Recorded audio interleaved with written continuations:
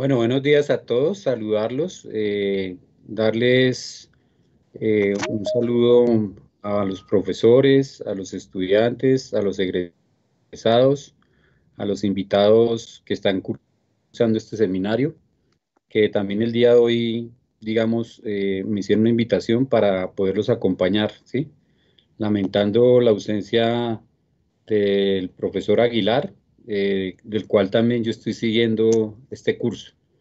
Y bueno, la ocasión, digamos que, que se me brindó, eh, la quise aprovechar para compartirles a ustedes un tema que es eh, gobernar, a qué se está haciendo referencia, es como el título de, de la charla que quiero compartirles. Es una, una mirada aproximada, inicial, donde, digamos, ato una serie de cabos y trato de generar una articulación entre lo que he venido tal vez trabajando a lo largo de los últimos 10 o 15 años.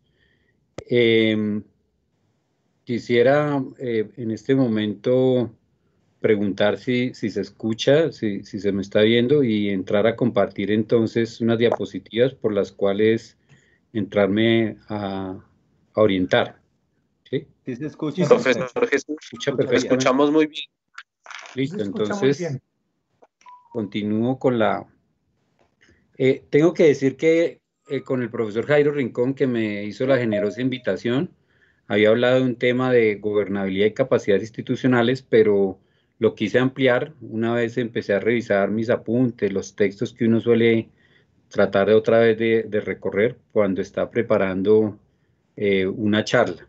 También decir que para mí la charla eso es un espacio donde también aprendo mucho, porque generalmente lo que uno trata de hacer es aclarar y, construir puentes que termina uno, digamos, dándole la posibilidad de ordenar, ordenar lo que tal vez no había ordenado con anterioridad. Entonces, ahí se ve la diapositiva. Sí, decano, lo estamos viendo.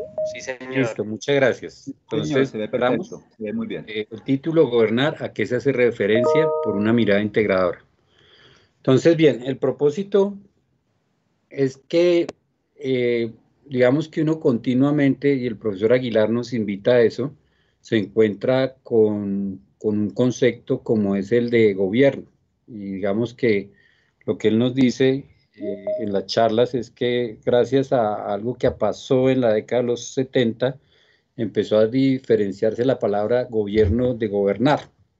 Sin embargo, yo creo que es una discusión que es antigua, digamos, eh, que se viene trabajando hace mucho tiempo y se enuncia bastante. O sea, en clases yo creo que uno encuentra la palabra no menos de tres, cuatro veces en las discusiones públicas también, pero es poco, creo yo, el conocimiento que se tiene sobre el concepto de gobernar, ¿sí? Y, digamos relacionándolo también con el concepto de gobierno.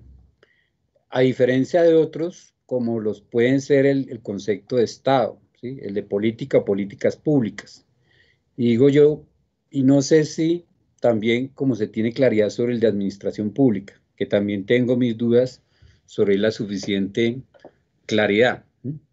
Ahora, esa preocupación, digamos que es como eh, de tipo general, ya se va concretando en el campo de la administración pública, porque me parece que hay muchos conceptos eh, ligados al concepto de gobernar, como el de gobernabilidad, el de gobernanza, el de buen gobierno, entre otros, que empiezan, digamos, a, a tomar curso en el seno de la disciplina pero digamos que eh, a pesar de que son categorías centrales, eh, yo creo que también pueden tener o traer el peligro de tratar de sustituir o tratar de dejar de lado, digamos, como las propias de la administración pública.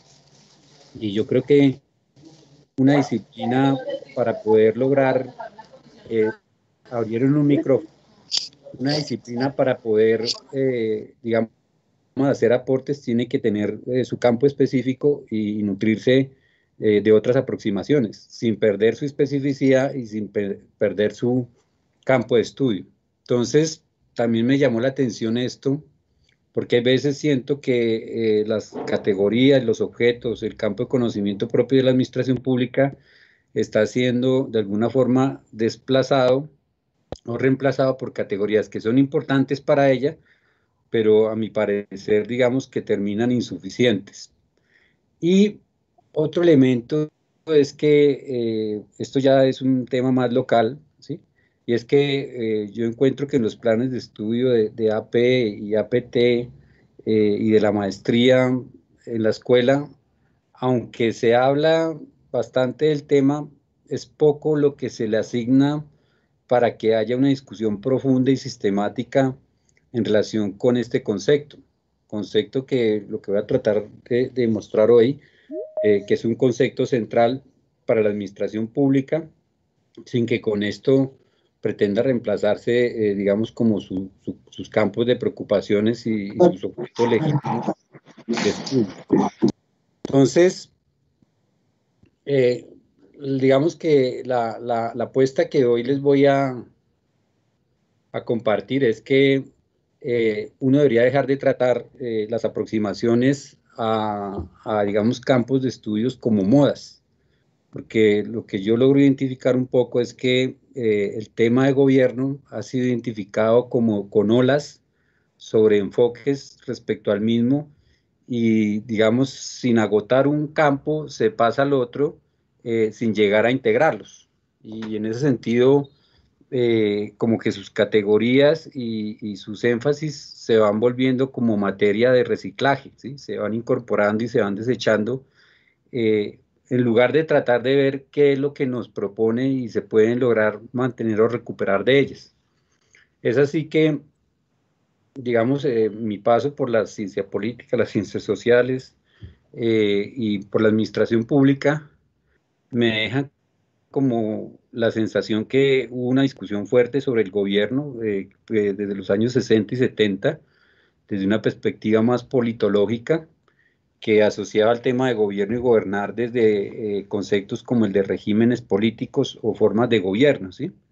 En los años 70 hasta los 90 empieza a dar una reflexión sobre el tema de gobierno desde las lógicas de acción, de una parte desde la propuesta de las políticas públicas eh, que se propone o se asume como la acción pública o el conjunto de acciones públicas, el programa de acciones que despliegan los gobiernos para tratar de resolver o tramitar asuntos socialmente problemáticos y que digamos esta línea también encuentra otra arista en lo que empieza a, discutirse sobre los problemas de gobernabilidad, ¿sí? la falta de o la impotencia del gobierno para conseguir sus propósitos.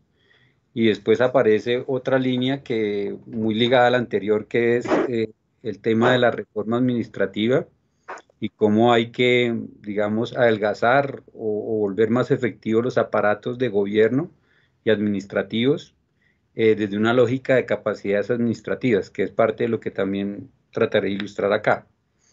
Y a partir de los años 2000, con algo que ya uno encuentra casi que en todas las discusiones, conversaciones que uno tiene en el sector público y en el campo académico, que es el concepto de gobernanza. ¿sí? Eh, y esa reflexión, digamos, como que es la que prima. Sin embargo, si ustedes miran esta línea rápida de tiempo que ha armado, pareciera que una discusión deja atrás la otra y no se recogen los elementos que cada una ha dejado para comprender, digamos, digamos, problemas del, sector público o, desafíos o procesos del sector público. Entonces, lo que yo quiero mostrar es la, pertinencia de integrar esas miradas, dejándolas de ver como modas y más bien mm, mirándolas como registros cognitivos o herramientas cognitivas que nos permiten pensar y transformar la realidad. Entonces, eh, entrando de lleno, y, para entrar, digamos, con el concepto de gobernar, eh, yo aquí me, me, baso un poco en, unas reflexiones que hacen, digamos, algunos, eh, eh, algunos intelectuales y pensadores del campo de la política, y es que una categoría tiene sentido si nos permite pensar o estudiar un campo de la realidad. O sea, si la categoría de gobernar o la categoría de gobierno o la categoría de gobernabilidad o la categoría de gobernanza nos permite pensar un campo de problemas de la realidad, yo creo que es un concepto que es importante, primero, de adoptar y segundo, eh, de utilizar, ¿sí? Pero también acá basándome eh, en otro autor que también ha trabajado mucho la ciencia política, Giovanni Sartori, él nos va a decir que un concepto para las ciencias sociales, o sea, pueden haber conceptos para la filosofía o conceptos para, digamos, eh, el diálogo social, pero para las ciencias es importante que el concepto permita observar un fenómeno y que aparte de observar permita, por otro lado, medirlo y finalmente llegar a explicar ese fenómeno. Él lo utiliza dos palabras que es denotar y connotar eh, para decir que eh, un concepto denota cuando refiere a un campo específico de registros o acontecimientos de la realidad y que lo separa de, otros registros y acontecimientos de la realidad. Y connota cuando uno puede, ese registro que uno ve en la realidad observada, eh, cuando puede caracterizarlos a profundidad. O sea, digamos aquí para, de una forma rápida y fácil, poder generar lo que estoy planteando, es que, por ejemplo, el concepto de hombre eh, como especie, eh, hay que definirla con una denotación que trate de decir qué es el hombre. Entonces alguien dirá, el hombre eh, en principio son esa especie que, que, es pensante o esa especie que usa la palabra o ese, ese esa especie que, digamos, sus características están determinadas por su relación social con otros, sus instituciones, etcétera, ¿sí? Pero ya la connotación es caracterizar en detalle cuáles son cada una de esas características que uno, digamos, puede llegar a, observar en la realidad. Entonces, eh, digamos, estos conceptos, porque acá se puede confundir el concepto de gobierno o gobernar con el de Estado, con el de política, y ahí ha sido como el punto de tensión que, de alguna forma eh, es lo que llama a la reflexión el día de hoy. Entonces hago estas preguntas, que es si el concepto de gobernar y todos sus derivados son útiles para pensar la realidad. ¿Qué es lo que nos permiten pensar estos conceptos, en particular el concepto de gobernar? qué nos permite transformar y cuáles son sus límites. Entonces, eh, eh, un concepto, lo vuelvo a señalar, nos es útil si nos permite pensar un campo la realidad. Segundo, si nos permite delimitarlo. Tercero, si nos permite connotarlo. Y cuarto, si nos permite explicarlo. Entonces, entremos con el primer momento eh, el gobernar, ¿sí? Eh, ¿Qué quiere decir ese concepto o qué entiendo yo que es ese concepto?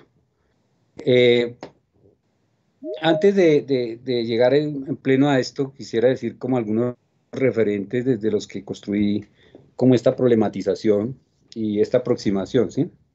El primero es Pablo Colombo, este es un texto de los 80, se llama Gobernar Léxico de la Política, donde él trata de mostrarnos que este es un concepto que es antiguo, o sea, antiguo es que viene de, la Grecia antigua, pero es un concepto que, digamos, eh, apareció primero no como un concepto político, sino como un concepto, digamos, del uso común, que refiere precisamente a, a cubernare, eh, que, que, se asocia con el timón del barco. y el timón del barco es una metáfora que, digamos, se va a volver a, utilizar después como el que conduce la nave, la conducción de la nave, y el darle un rumbo a la nave, ¿sí?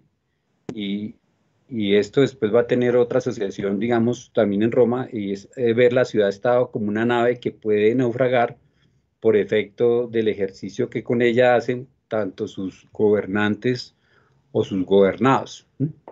Y Paolo Colombo eh, precisamente nos va a tratar de mostrar que esta palabra, esta palabra, este término, tiene una connotación política solamente hasta el siglo XVI y XVII. Y, ahí hay un problema difícil, porque el concepto en otras épocas se asoció por un lado con el concepto de constitución, eh, por otro lado con el concepto de nomos, de ley, eh, y por otro lado se asoció también con el de regir y el de administrar. Y hasta solamente el siglo XVII, XVIII empieza a tener una connotación política específica que tiene que ver con la conducción eh, del Estado, con la conducción de la sociedad, pero dicha conducción realizada desde un órgano en particular del Estado, que en su momento eh, fue el Ejecutivo. ¿sí? Y, bueno, esto va a tener también un proceso histórico muy interesante. Entonces, esto ya me, me puso sobre la lógica de, por qué hasta el siglo XVII aparece este concepto y qué era lo que quería decir. Y aparece la palabra conducción, que yo creo que ese es un tema importante y fuerte de este concepto, ¿sí? Si el Estado es dominación, o si el Estado es orden social, ¿sí? Si el Estado es ejercicio legítimo de la fuerza, el monopolio y la fuerza sobre un territorio y una población, este concepto, digamos, transversal tal vez al de Estado, eh, es el de dar conducción, ¿sí? Dar conducción y con un elemento en particular eh, que Pablo Colombo lo va a decir aquí, eh, es el ejecutivo. ¿sí? Bien, eso fue una parte que encontré que creo que es importante. La segunda es una reflexión que hace Michel Foucault, donde él en dos textos, uno sobre sociedad, territorio y población y otro de la biopolítica, él hace, él entra a interrogarse, digamos, eh, el tema de la política y la sociedad desde un ángulo diferente al que tradicionalmente lo ha hecho, eh, lo han hecho. Y encuentra que eh, históricamente en el siglo XVII empiezan unos autores a hablar del arte de gobernar, y el arte de gobernar, digamos que, que refiere como a una conciencia de qué debería ser el buen gobierno. Y, esto empiezan a verlo también con ocasión de algo que está surgiendo con ocasión de la consolidación de los estados absolutistas, que es la razón de Estado. Y nos va a mostrar Foucault algo que es interesante, y es que la palabra gobernar, igual que Colombo, ya venía de la antigüedad, pero era para referir a aspectos de diferente clase. Era el gobierno tanto de la familia como el gobierno que puede tener un padre, como el gobierno que puede tener un pedagogo sobre sus estudiantes, como el gobierno que puede tener el médico sobre sus pacientes. Y lo que va a mostrar es que en el marco de la consolidación de los estados absolutistas se da la razón del Estado y digamos que gobernar se va a entender sobre todo como eh, la intervención del Estado a través de los reglamentos en todas las esferas de la sociedad y digamos, eh, bajo esta lógica, eh, lo que hay que hacer es acrecentar, fortalecer las potencias y la riqueza del Estado sobre la base de, tres saberes, saber sobre la población, saber sobre la economía y saber también sobre, sobre eh, la conducción de la sociedad. ¿sí? ¿Y qué es lo que, digamos, lo, que a mí me, pareció potente de, esta reflexión de, Foucault es que él va a decir, eh, el Estado ya no se rige solamente por el derecho, eh, sino que se rige por la acción. el, derecho en términos de que antes se pensaba eh, cómo contener al Estado frente a los derechos naturales de los ciudadanos, o cómo hacer para que el Estado no pasara la esfera de lo privado. Eh, pero lo que va a decir acá es que el, arte de gobernar se va a centrar es en la acción, en aquello que debe hacer o debe dejar de hacer los gobernantes. Y, yo creo que esta es una reflexión interesante porque acá ya ponen que no el, el Estado casi siempre se, ve como una estructura, pero el gobierno se ve como un campo de la acción, de lo que se puede y lo que no se puede hacer y ya empieza como un cálculo de una autorregulación por parte de los gobernantes para poder medir eh, cuál es el alcance, dónde y por qué se debe llevar su acción. Al punto que el, tema de, de, ingobernabilidad que se discute en la década de los 80 y 70 es precisamente interrogarse si el gobierno tiene que hacer o tiene que dejar de hacer eso que venía haciendo. Y hay dos reflexiones más que digamos que también atravesaron esta reflexión, que es una de Charles Bonan, eh, la misma incluso está en Florentino González y Cerveleón Pinzón, y es que no es suficiente constituir el Estado, o sea, no es suficiente armarle una estructura en una constitución, sino que más importante que eso es materializarla, y materializarla mediante un ejercicio que ellos llaman la acción de las autoridades. Y, y acá esa unidad de la administración pública eh, es bien fuerte, pero digamos que ahí está también eh, cruzada esa acción de, las autoridades para constituir, o sea, darle forma y materializar eso que, está en las constituciones, eh, donde involucra también la reflexión sobre la, sobre la, sobre la acción, ¿sí? La acción del Estado, de las autoridades del Estado sobre la sociedad. Y aquí ya hay un encuentro interesante entre gobernar y administración pública, donde ellos mismos dan una discusión. Unos asumen que eh, gobierno eh, es diferente a administración pública, eh, sin embargo, gobierno no lo entiende, por ejemplo, Bonan, como el gobierno del Ejecutivo, sino como el gobierno de las leyes. Y la administración pública es la que materializa esas leyes y quien da el impulso digamos, de alguna forma sí es el gobierno. Pero mira acá lo interesante como se imbrica este tema una vez más, ¿sí? Eh, y esto que me permitió reflexionar, ¿sí? Que la administración pública al parecer también hace parte del proceso de gobernar y que si bien la unidad analítica de gobierno y, y administración pública son diferenciables, comparten un mismo sentido que es el gobernar. Y ya vamos a tratar de mirar esa, digamos, como esa dupla que tienen una unidad de sentido que es el, gobernar. Y finalmente están las reflexiones del profesor Aguilar, que me las encontré tal vez hace unos 10 años y las retomé también el año pasado, donde él nos muestra que el concepto y la palabra de, de gobernar vuelve, digamos, en un primer plano de la discusión política y los estados con ocasión de la crisis de los años 70, donde cuando empiezan a haber problemas fiscales, eh, problemas de burocratización, problemas de crecimiento de las economías, problemas de desempleo, eh, en ese momento empiezan a, digamos, a voltear las luces y, a voltear, digamos, la lupa sobre los gobiernos. Y, digamos, empiezan a preguntarse qué responsabilidad en eso tienen los gobiernos y, y surgen preguntas sobre cuál es el desempleo desempeño de los gobiernos, eh, si gobiernan los gobiernos, eh, si los gobiernos pueden gobernar en solitario y donde aparece la reflexión que yo les decía en un inicio, donde se diferencia eh, la pregunta, digamos, de gobernar de, de, la unidad o del órgano de gobierno. O sea, que gobernar puede ser distinto solamente las acciones que hace el gobierno como unidad organizacional o unidad institucional del Estado.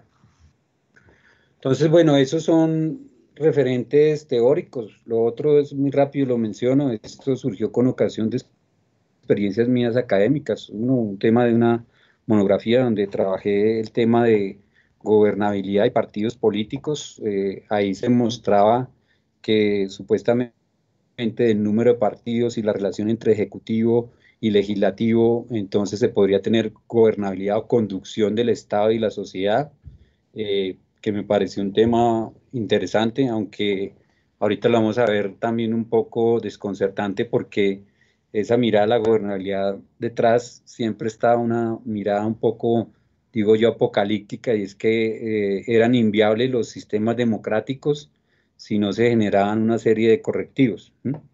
Otro tema por qué me aproximo al tema de, gobierno eh, y de gobernar, eh, pues precisamente las clases aquí, al interior de la escuela, eh, donde hay una materia que llama Estado, Gobierno y Políticas Públicas, que realmente pues tiene que pasar uno por tratar de aproximarse a esas categorías y otra de políticas públicas que como lo vamos a ver está íntimamente relacionada con el tema de gobernar y de gobierno.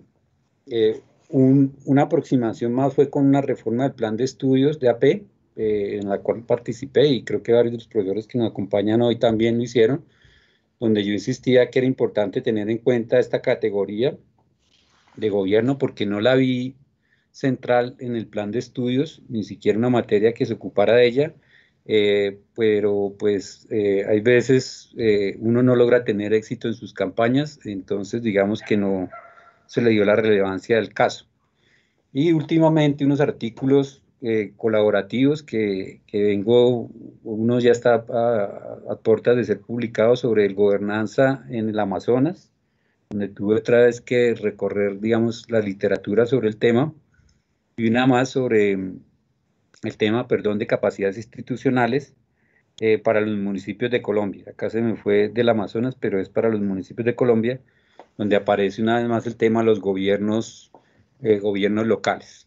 Entonces, estos son, digamos, como un preámbulo, una introducción a, de dónde surge esta preocupación, esta reflexión que les quiero compartir. Entonces, dicho esto, eh, ahora sí eh, podemos entrar en materia en la concepción que logro elaborar sobre el concepto de gobernar. ¿sí?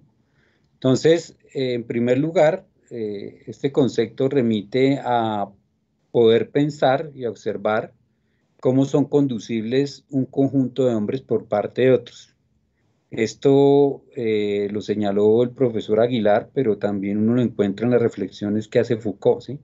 El gobernar es cómo unos hombres eh, conducen, orientan, encuentran aceptación y obediencia por parte de otros hombres. Eh, por eso, digamos, el concepto se hablaba, eh, acorde a Foucault, que puede haber el, gobierno de la casa o el gobierno del padre o el gobierno del médico o ya entrando en el campo político, el gobierno de los gobernantes. Pero este gobierno de unos hombres por parte de hombres, eh, de unos hombres eh, por parte de otros hombres, también refiere a que es un gobierno que se hace mediante la acción de las autoridades. Y, en este tema, la próxima diapositiva voy a tratar de mostrarlo, es que si el concepto se deja tan grande como solamente la conducción de unos hombres por otros hombres, se desdibuja, porque eso va a pasar en todas las esferas de lo social. Eh, y por eso entonces, digamos que eh, lo que se muestra, la pregnancia del concepto realmente tiene que ver con el ejercicio de las autoridades. Y, ahorita vamos a tratar de ver eh, en qué consiste ese ejercicio. Pero además, no solamente el ejercicio de autoridades, sino unas autoridades que pueden actuar gracias a que son posibilitadas desde el poder del Estado. Entonces, eh, aquí gobernar ya queda atado a un campo que es lo estatal, ¿sí? Y entonces aquí ya tenemos un problema y es que la gobernanza nos dice es que es una relación de cooperación entre públicos, privados y, también la sociedad civil. Pero si vemos un poco con esta acepción que estamos construyendo, pues eh, gobernar es un atributo eh, de los estados, ¿sí? Y, ahorita tendremos entonces que discutir cómo es de los estados, también se entra en cooperación o en colaboración o digamos en asocio con otros estados, pero sigue siendo el centro del accionar público. Entonces, eh, ¿qué es lo que se pretende conducir a través de este ejercicio del gobernar? ¿sí? En principio, eh, la sociedad, la sociedad en su conjunto, ¿sí? el conjunto de habitantes que, integran eh, esa, digamos, ese conjunto social, ¿sí? Pero también es lograr conducir eh, no solamente a la sociedad, sino conducir al Estado. Son cosas que son distintas, ¿sí? O sea, uno puede eh, conducir tal vez la sociedad, y en esto hay una discusión, algunos que dicen que se puede hacer desde el mercado, y otra cosa es conducir el Estado. Y hay veces hay problemas de conducir a la, a la sociedad porque precisamente no se sabe o no se puede cómo conducir el Estado. Eh, pero también el concepto de, gobernar no solamente es conducir el Estado, sino lograr conducir el aparato gubernamental. Y, acá yo quiero señalar lo siguiente. Eh, cuando hablo de aparato gubernamental es tanto eh, el orden del gobierno como la administración pública. Eh, conducir la administración pública y, el, digamos, el gobierno no es igual a conducir todo el Estado. Por eso coloco acá que también es conducir el aparato gubernamental. Pero además, algo que es fundamental desde las lógicas de gobierno es poder conducir las lógicas del territorio, y, precisamente porque esto está escrito ¿sí? que pretenden, digamos, mantener el orden social eh, frente a un territorio y frente a una población, ¿sí? Y, hablo acá de poblaciones porque no es una, sino son diferentes, eh, digamos, campos de organización colectiva que hay dentro de un territorio, de un territorio de carácter nacional. ¿Todo esto para qué? ¿Qué es lo que pretende hacer eh, el gobernar? Orientar a los hombres en sus conductas para que se orienten por prescripciones o deseos de los gobernantes. Eh, yo creo que acá ustedes están ya sintiendo como un choque entre lo que se viene trabajando en el seminario, que eh, gobernanza es un concepto más abierto, y acá lo que yo estoy diciendo es que gobernar, digamos, de alguna forma se hace desde el Estado. y ahorita quiero mostrar precisamente a continuación, por qué no hay que borrar ni desdibujar el papel central del Estado en este, en este proceso, en este tipo de acción. ¿sí? Eh, y para esto traigo la especificidad del concepto de gobernar. ¿sí? Hay una discusión muy interesante que en un, texto de, de, la Universidad de Oxford se hace y es tratando de definir qué es el concepto de gobernanza. Y hay un autor que llama James Rousseau en el 2004, que nos va a poner sobre la lógica que, que estoy tratando como de, compartir. ¿sí? Y es que para él eh, el gobernar tiene que ver con el ejercicio de la autoridad. Una, autoridad que, digamos, asume eh, la disposición de dar directrices pero también asume la pretensión que sus, digamos, sus directrices sean acogidas o sean obedecidas por los gobernados. Y, dice él que para poder hacer esto se requiere una estructura y unas funciones. Eh, y dichas estructuras y dichas funciones, eh, la estructura él lo asocia, que es la, cita que está al lado derecho, eh, el rango para conducir, los mecanismos para conducir las estructuras comprenden desde la autoridad dada a través de las constituciones o las leyes y otros instrumentos formalmente adoptados de gobierno o aquellos que son procesados informalmente a través de prácticas repetidas que, aunque no pueden ser constitucionalmente sancionadas, eh, pueden generar cumplimiento por parte de esas personas alrededor de ellas. Eh, ¿Qué es lo que está colocando este autor que me pareció relevante? ¿sí? Y es que eh, el gobernar no solamente es la práctica que, se, que proviene de una conducción, sino que también proviene de una autoridades que para poder hacerlo se soportan en una estructura y en unas funciones donde tiene que haber digamos, un reconocimiento eh, y una aceptación, incluso una, obediencia de sus dictámenes. Entonces, esto ya hace que la gobernanza no pueda ser atribuido, digamos, de cualquier tipo de actor o de cualquier tipo de, acción, sino una acción, y es la segunda parte, que para poder hacerla requiere de la estructura del Estado, ¿sí? Y por eso se habla ahí de, leyes o constituciones. Entonces, fíjese, eh, fijémonos que esta conducción de la cual estamos hablando no es cualquier tipo de conducción de la sociedad, sino una conducción que se hace desde el Estado por parte de autoridades públicas que requieren una estructura y unas funciones. Eh, dicho esto, eh, lo que logro analizar o lo que logro conjeturar es que esa estructura de gobernar se hace mediante dos grandes tipos de instituciones, ¿sí? Eh, el gobierno y la administración pública.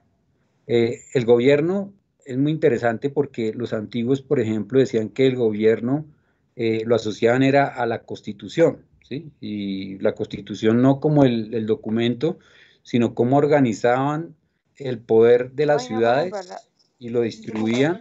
Hay unos micrófonos abiertos, cómo organizaban y distribuían ese poder para poder, digamos, mantener una coexistencia pacífica. Entonces, pero esto después eh, en la modernidad ya se volvió un texto escrito, la constitución, que precisamente son las reglas del juego. Entonces, eh, gobernar tiene que ver con las reglas del juego y que precisamente uno lo va a encontrar muy claro en un enunciado como el de Montesquieu, del gobierno de las leyes y no de los hombres. Y, ahí yo creo que, que, va a estar este, este punto. ¿sí? Otro es que para poder gobernar, para conducir las sociedades, el Estado, el aparato del Estado, el territorio, etcétera, eh, pues se requiere un cuerpo de gobierno. ¿sí? Eh, en el momento moderno, pues ese cuerpo se fue organizando alrededor del rey hasta dar eh, una estructura, por ejemplo, de, primeros ministros y, de primer ministro, perdón, y ministros o de presidentes y ministros, ¿sí? Pero es un cuerpo que está articulado y que tiene eh, la función abajo de direccionar. Eh, fijémonos que en este, en este mm, gráfico, la primera, la constitución o las leyes, eh, tiene la función de constituir, ¿sí? de constituir, digamos, el, cuerpo político y organizarlo. El segundo, el cuerpo de gobierno, abajo tiene la función de direccionar. Y el tercero, que digamos de parte del gobierno están las políticas públicas, este es un concepto nuevo, pero siempre ese cuerpo de gobierno ha tenido eh, la forma de poder, digamos, eh, definir hacia dónde proyecta o direcciona su acción de gobierno para el conjunto de la población o para el conjunto del aparato del Estado. En la actualidad esto se le da el nombre de, políticas públicas, que es un concepto que es relativamente eh, moderno, ¿sí? y que ahorita más adelante vamos a tratar de, reflexionarlo y mirarlo. Eso de parte del gobierno, ¿sí? pero fíjese que que el gobierno por sí solo no es capaz de conducir eh, a la población y al territorio, ¿sí? Requiere también la administración pública. Y, por ejemplo, han habido experiencias históricas donde pretenden haber gobiernos sin administración pública y fracasan. Y Omar Guerrero dice, sin embargo, sí han habido administraciones públicas sin gobiernos que permanecen. Y ahí veces citan el caso de Weimar en, en, Alemania, donde fue un gobierno de funcionarios, un poco lo, lo, que señalan para ese momento, ¿sí? la República de Weimar. Entonces, eh, gobernar se hace con gobierno y se hace con administración pública y, uno podría pensar, o sea, pensar que eh, eh, gobernar se agota en gobierno es un error, ¿sí? y pensar que la administración pública no, no es parte del ejercicio de gobernar, a mi parecer también es otro error. Eh, y esa administración pública, digamos que es parte de esa estructura también del gobernar que tiene que ver con organizaciones públicas, que es donde se organiza eh, ese ejercicio de autoridad, las burocracias, que es el mecanismo mediante el cual se ejerce, eh, los procesos de gestión, que son, digamos, la forma en que se operativiza la autoridad, y bienes y servicios y regulaciones, que es donde se concreta. Sin esos dos brazos es imposible el ejercicio de gobernar, ¿sí? Eh, sin el gobierno y la administración pública, aunque experiencias históricas señalan que tal vez la sola administración pública podría lograr hacerlo eh, sin el gobierno. yo tomo un poco de distancia de eso, pero pues está, digamos, esas aproximaciones históricas. Entonces, eh, ¿qué es lo que nos está diciendo esto? Se requieren dos estructuras, el gobierno, la administración pública, ¿sí? Eh, el gobierno no solamente entendida como la parte del Ejecutivo, sino el gobierno también entendido como el gobierno de las leyes. Por eso señalo ahí ese elemento.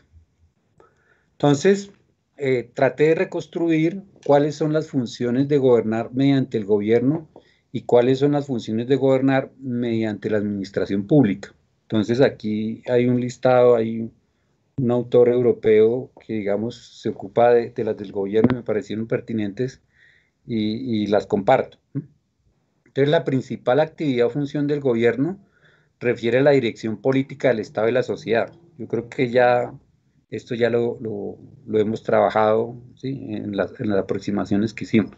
El segundo, eh, nos lo mencionaba también el profesor Aguilar, en el proceso de toma de decisiones eh, para muchos es la más importante función del gobierno moderno.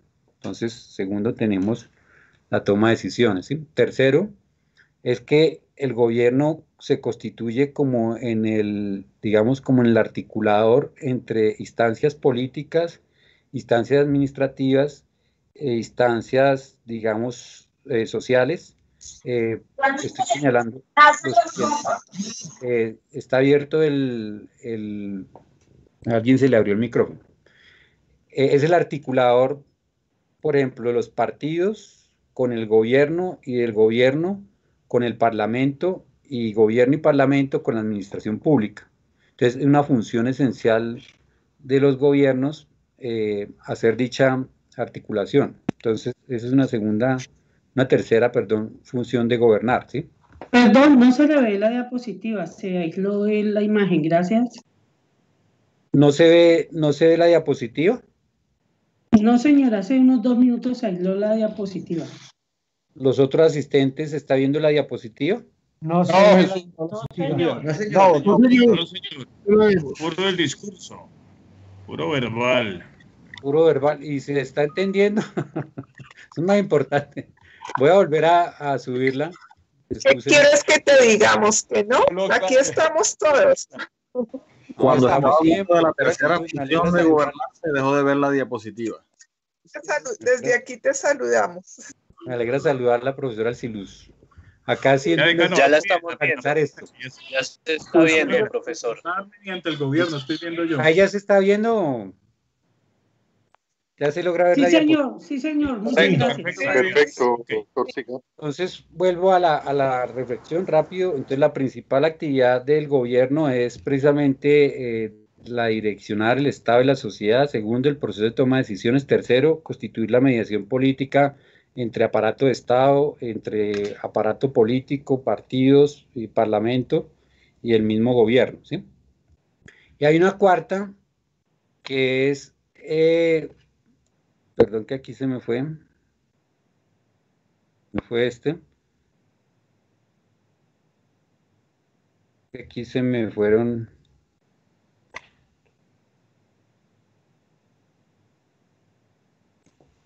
Listo, perdón, profesor. Ahí está, eh, profesores y, todos los asistentes. Hay una cuarta que tiene que ver con el tema de direccionar la administración pública eh, y constituirla en sus cabezas directivas. Y hay una quinta que tiene que ver con el hecho de comunicar para generar directrices a la sociedad o para cohesionarla. O sea, estamos hablando de las funciones de gobernar del gobierno.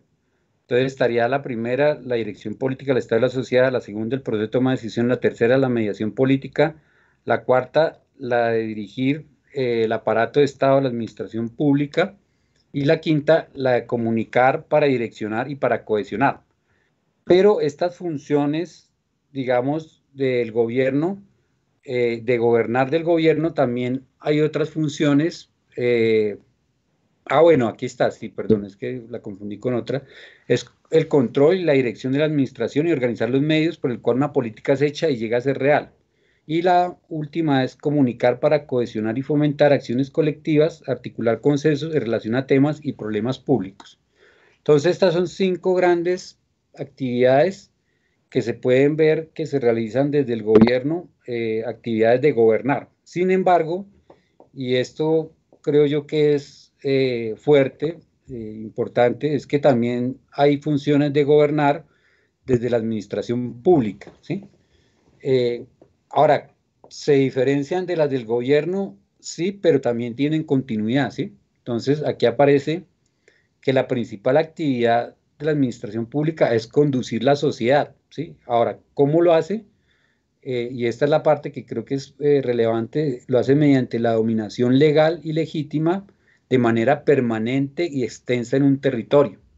Eh, si el gobierno conduce, por supuesto, da direccionamientos, da orientaciones, eh, lo puede hacer es porque, y lo vuelve un hecho fáctico y real, es porque tiene todo un aparato administrativo disperso y de manera permanente en todo un territorio. O sea, lo que pasa en Colombia es que aquí hay gobierno, pero parece ser que no hay administración pública en muchos territorios. Eh, bueno, no quiero aquí extenderme en esto, pero un análisis que hace eh, Mauricio García sobre capacidades institucionales y Estado en el territorio, pues es lo que, lo que precisamente apunta a decir es que eh, hay una ausencia de, Estado, de administración pública, de aparato del Estado en los territorios, pues que impide que haya gobierno, o sea, que haya conducción política de esos territorios por parte del Estado.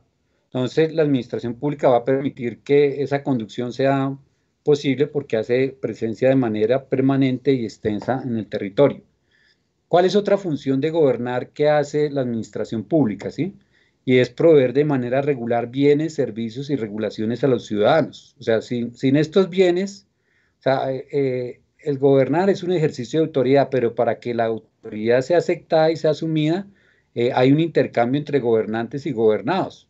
Entonces, eh, el Estado le entrega unos bienes a los ciudadanos y los ciudadanos a cambio aceptan ese orden social. Y son bienes eh, de diferente tipo, ¿sí? bienes sociales, educación, salud, otros de seguridad, otros de justicia. Y, digamos que eso lo, lo, entrega el Estado, pero también, y lo hace mediante la administración, pero también la función de gobernar de la administración pública es extraer recursos de la sociedad de manera permanente para mantener y direccionar el orden social. O sea, conducir no se hace sin, recursos y energías. Y esos recursos provienen de la propia sociedad y, son recursos que la administración pública está, digamos, recabando mediante una función principal que es la función de la, tributación. Y esto lo hace mediante aparatos eh, administrativos en los territorios a nivel nacional y mediante, digamos, aplicar esas leyes, que es eh, la obtención precisamente de recursos por parte de los ciudadanos, eh, digamos, jalonadas por parte del Estado. Entonces, eh, si vemos gobernar es más que un gobierno que lidera, ¿sí? Eh, gobernar es también un aparato que está en el territorio de forma permanente, que da servicios para que haya autoridad que es aceptada y que es seguida, y también para que eh, haya unos recursos con los cuales eh, sostener ese ejercicio de, la autoridad. Pero además, también las funciones del gobernador de la administración pública es que la administración pública lo que hace es asegurar el cumplimiento del orden legal. O sea, eh, casi que la administración pública está continuamente mirando que se cumplan las normas y que quien las infrinja que tenga una sanción. Eh, y aquí algunos autores dicen incluso que la función de policía es una función administrativa. Y lo último de esta función del gobernante de la administración pública es organizar fines y medios que tiene que ver con los bienes y servicios eh, y también con la extracción de bienes y servicios, tomando decisiones para asegurar la condición y mantenimiento del orden de la sociedad. Entonces, eh, acá ya eh, y gracias también a la, a la, digamos, a los aportes que, que, hace Foucault, que hace el profesor Aguilar, que hace el mismo Pablo Colombo, pudimos ver que disociando la palabra gobernar de gobierno, podemos entender que el gobernar va más allá de lo que hace el gobierno y también involucra, en este caso, a la administración pública, mediante todos esos registros que ya hablábamos que eran el tema de la constitución, el tema del cuerpo de gobierno, el tema de las políticas públicas, el tema de las organizaciones, el tema de la burocracia, el tema de los proyectos de gestión y, el tema de los bienes y, servicios. Entonces, bueno, eso digamos que, que, que ya nos pone en una lógica de dónde nos encontramos y dónde nos tomamos distancia eh, desde la lógica de la administración pública de, solamente ocuparnos del gobierno como potencial objeto de, estudio de la administración pública. Yo creo que no es el gobierno, sino puede ser el gobernar, pero eh, sin que esto agote, digamos, eh, el campo mismo de, la administración pública. Ahora pasamos a otro elemento que es que ese gobernar también eh, se ha venido complejizando y siempre ha sido complejo, pero tal vez no lo hemos reconocido. Entonces aparece que hay unas estrategias para gobernar, sea desde el gobierno, la administración pública, que digamos, para lograr la conducción de los hombres, para lograr que, tengan cierto tipo de conducta. Entonces, eh, el primer elemento, el básico, el elemental, ¿sí? es ese, gobernar mediante la coacción, ¿sí? ese es el poder de la dominación. Eh, precisamente eh, es la fuerza lo que soporta al Estado, ¿sí? por eso Weber dice que es el monopolio de la violencia legítima pero esa violencia también, como lo muestra Kelsen, eh, también se va a poder estructurar de una forma, digamos, rutinaria, comillas, y pacífica mediante el derecho. El derecho, si, si tiene un, sentido, es una fuerza coacción que se organiza no solamente a, partir de las leyes, sino eh, mirando el propio razonamiento de Kelsen, un cuerpo de funcionarios que aplican y distribuyen esa coacción, ¿sí? Y lo hacen a lo largo de la sociedad que precisamente son los funcionarios. Entonces, ese es el primer recurso por excelencia del gobernar, ¿sí? Pero eh, no solamente es el ejercicio de la fuerza, porque también otros teóricos dicen que nunca se puede sostener una dominación solamente por el ejercicio de la violencia o la amenaza de la violencia, sino que también, digamos, esto tiene que hacerse mediante otros recursos. Entonces, otro es el tema del poder económico. Eh, por supuesto, esto lo han querido asociar más al mercado, pero el Estado maneja una cantidad ingente de recursos. O sea, lo que plantea Tilly históricamente es que eh, el primer elemento que tuvo el Estado no fue prestar servicios, sino recoger recursos, recursos de dinero de, digamos, de los, de los, en esa época los súbditos, eh, precisamente para financiar guerras o, financiar al, señor, eh, al señor o, al, a la aristocracia que acompañaba al señor rey. Entonces el Estado también eh, para gobernar utiliza sus, recursos económicos, que son bastantes. ¿sí? Algunos hacen otra metáfora también, es que la empresa más grande en cualquier sociedad es el Estado por todos los recursos que maneja. Eh, esos son registros que, digamos, se, han venido teniendo en cuenta. Sin embargo, hay otros que ya son más contemporáneos que muestran que el gobernar es más que ejercer la fuerza o manejar recursos económicos, y es que también se da por un tema del poder comunicativo. ¿sí? Em, hoy, por ejemplo, hay textos sobre gobiernos y estrategias de, comunicación. Eh, las entidades, es más, ya tienen todas sus oficinas de comunicación. Algunos dicen que el gobierno, hay gobiernos muy buenos, pero que comunican mal, y, hay gobiernos que no son tan buenos y comunican bien. Y en Colombia, entonces citan el caso de nuestros, nuestros últimos presidentes eh, en las últimas dos décadas. Entonces, este es otro elemento que está jugando para la conducción de, los hombres. Uno más, y este ya hasta lo, había identificado, eh, si ustedes leen a, Bonan y leen a Florentino González, él habla que uno también tiene que gobernar conforme a las costumbres, conforme a los hábitos, y que un buen gobernante, bueno, en este caso, eh, Florentino González va a decir, eh, bueno, el, el agente, es que él, tiene otro nombre para los, gobernantes, lo van a hacer conforme a los valores y costumbres, y que en eso también está la, buena selección y el buen tino eh, del gobernante. Entonces, también se gobierna a partir del poder cultural.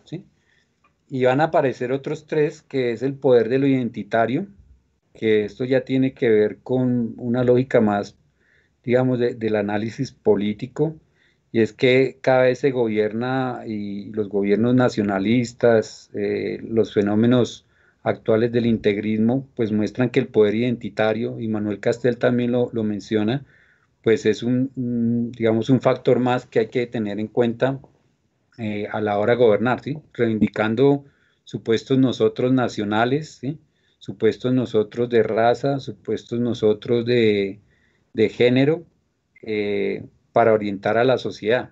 Eh, y yo acá lo, asocio un poco con el fenómeno Trump en los Estados Unidos. Y hay otros dos que es el poder asociativo, eh, que es bueno, el poder de la fuerza a partir de construir colectivos, que tiene que ver con los, precisamente con el, el tema de, movimientos sociales, pero también el, la, el logro que tiene eh, los gobiernos para poder lograr eh, cooperación, corresponsabilidad por parte de los ciudadanos.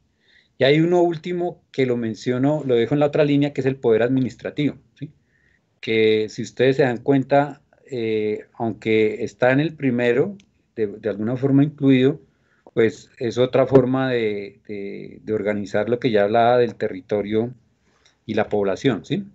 Entonces, todos estos elementos eh, permitirían, eh, en principio, un ejercicio gobernar que no es lo mismo que gobierno y que tendría como dos grandes soportes de estructura, que es tanto el gobierno como la administración pública.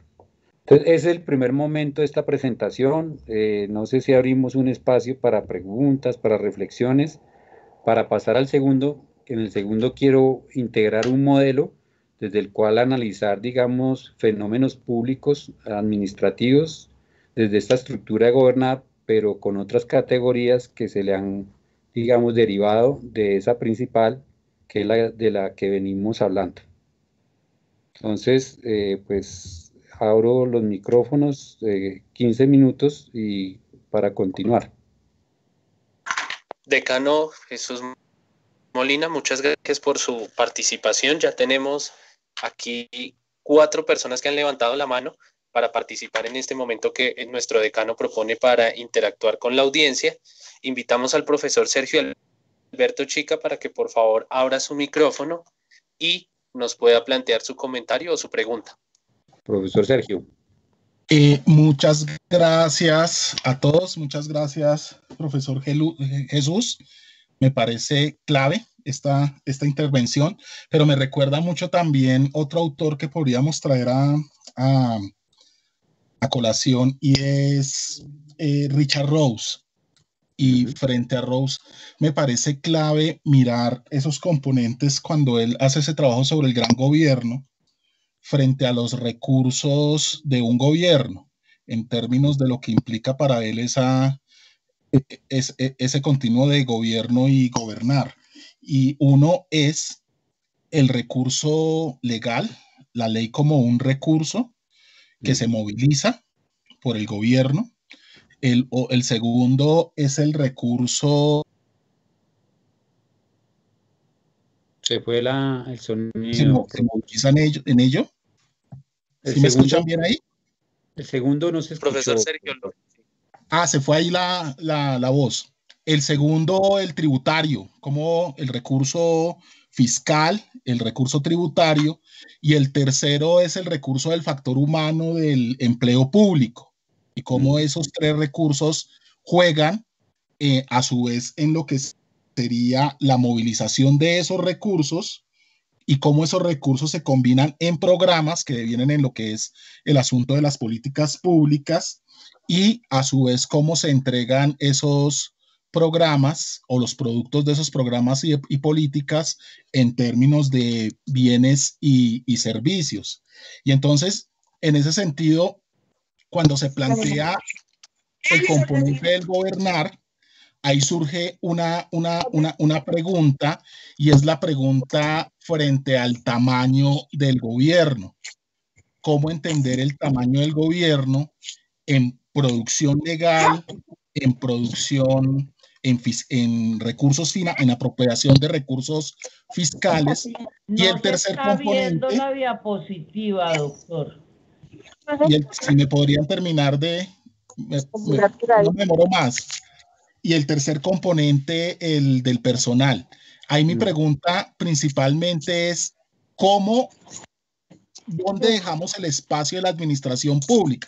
Porque la administración pública, sin lugar a dudas, se plantea en ese espacio de movilización y no hay una posibilidad de diferenciación entre lo político y lo administrativo, porque pareciese que estuviésemos otra vez en el debate de la división entre política y administración que Rose precisamente con, con el término de gran gobierno rompe eh, ese, ese, falso dilema. Profesor Sergio, muchas gracias. Eh, recogemos las otras preguntas e intentamos pues hacer una aproximación a la pregunta. De acuerdo, profesor. Decano Jesús Molina, invitamos entonces a Carlos Alfredo Valverde, Oscar Salazar e Iván Darío Pinzón para que por favor en este mismo orden que les acabo de mencionar, abramos los micrófonos y planteemos nuestra pregunta. Eh, muchas gracias eh, al señor decano.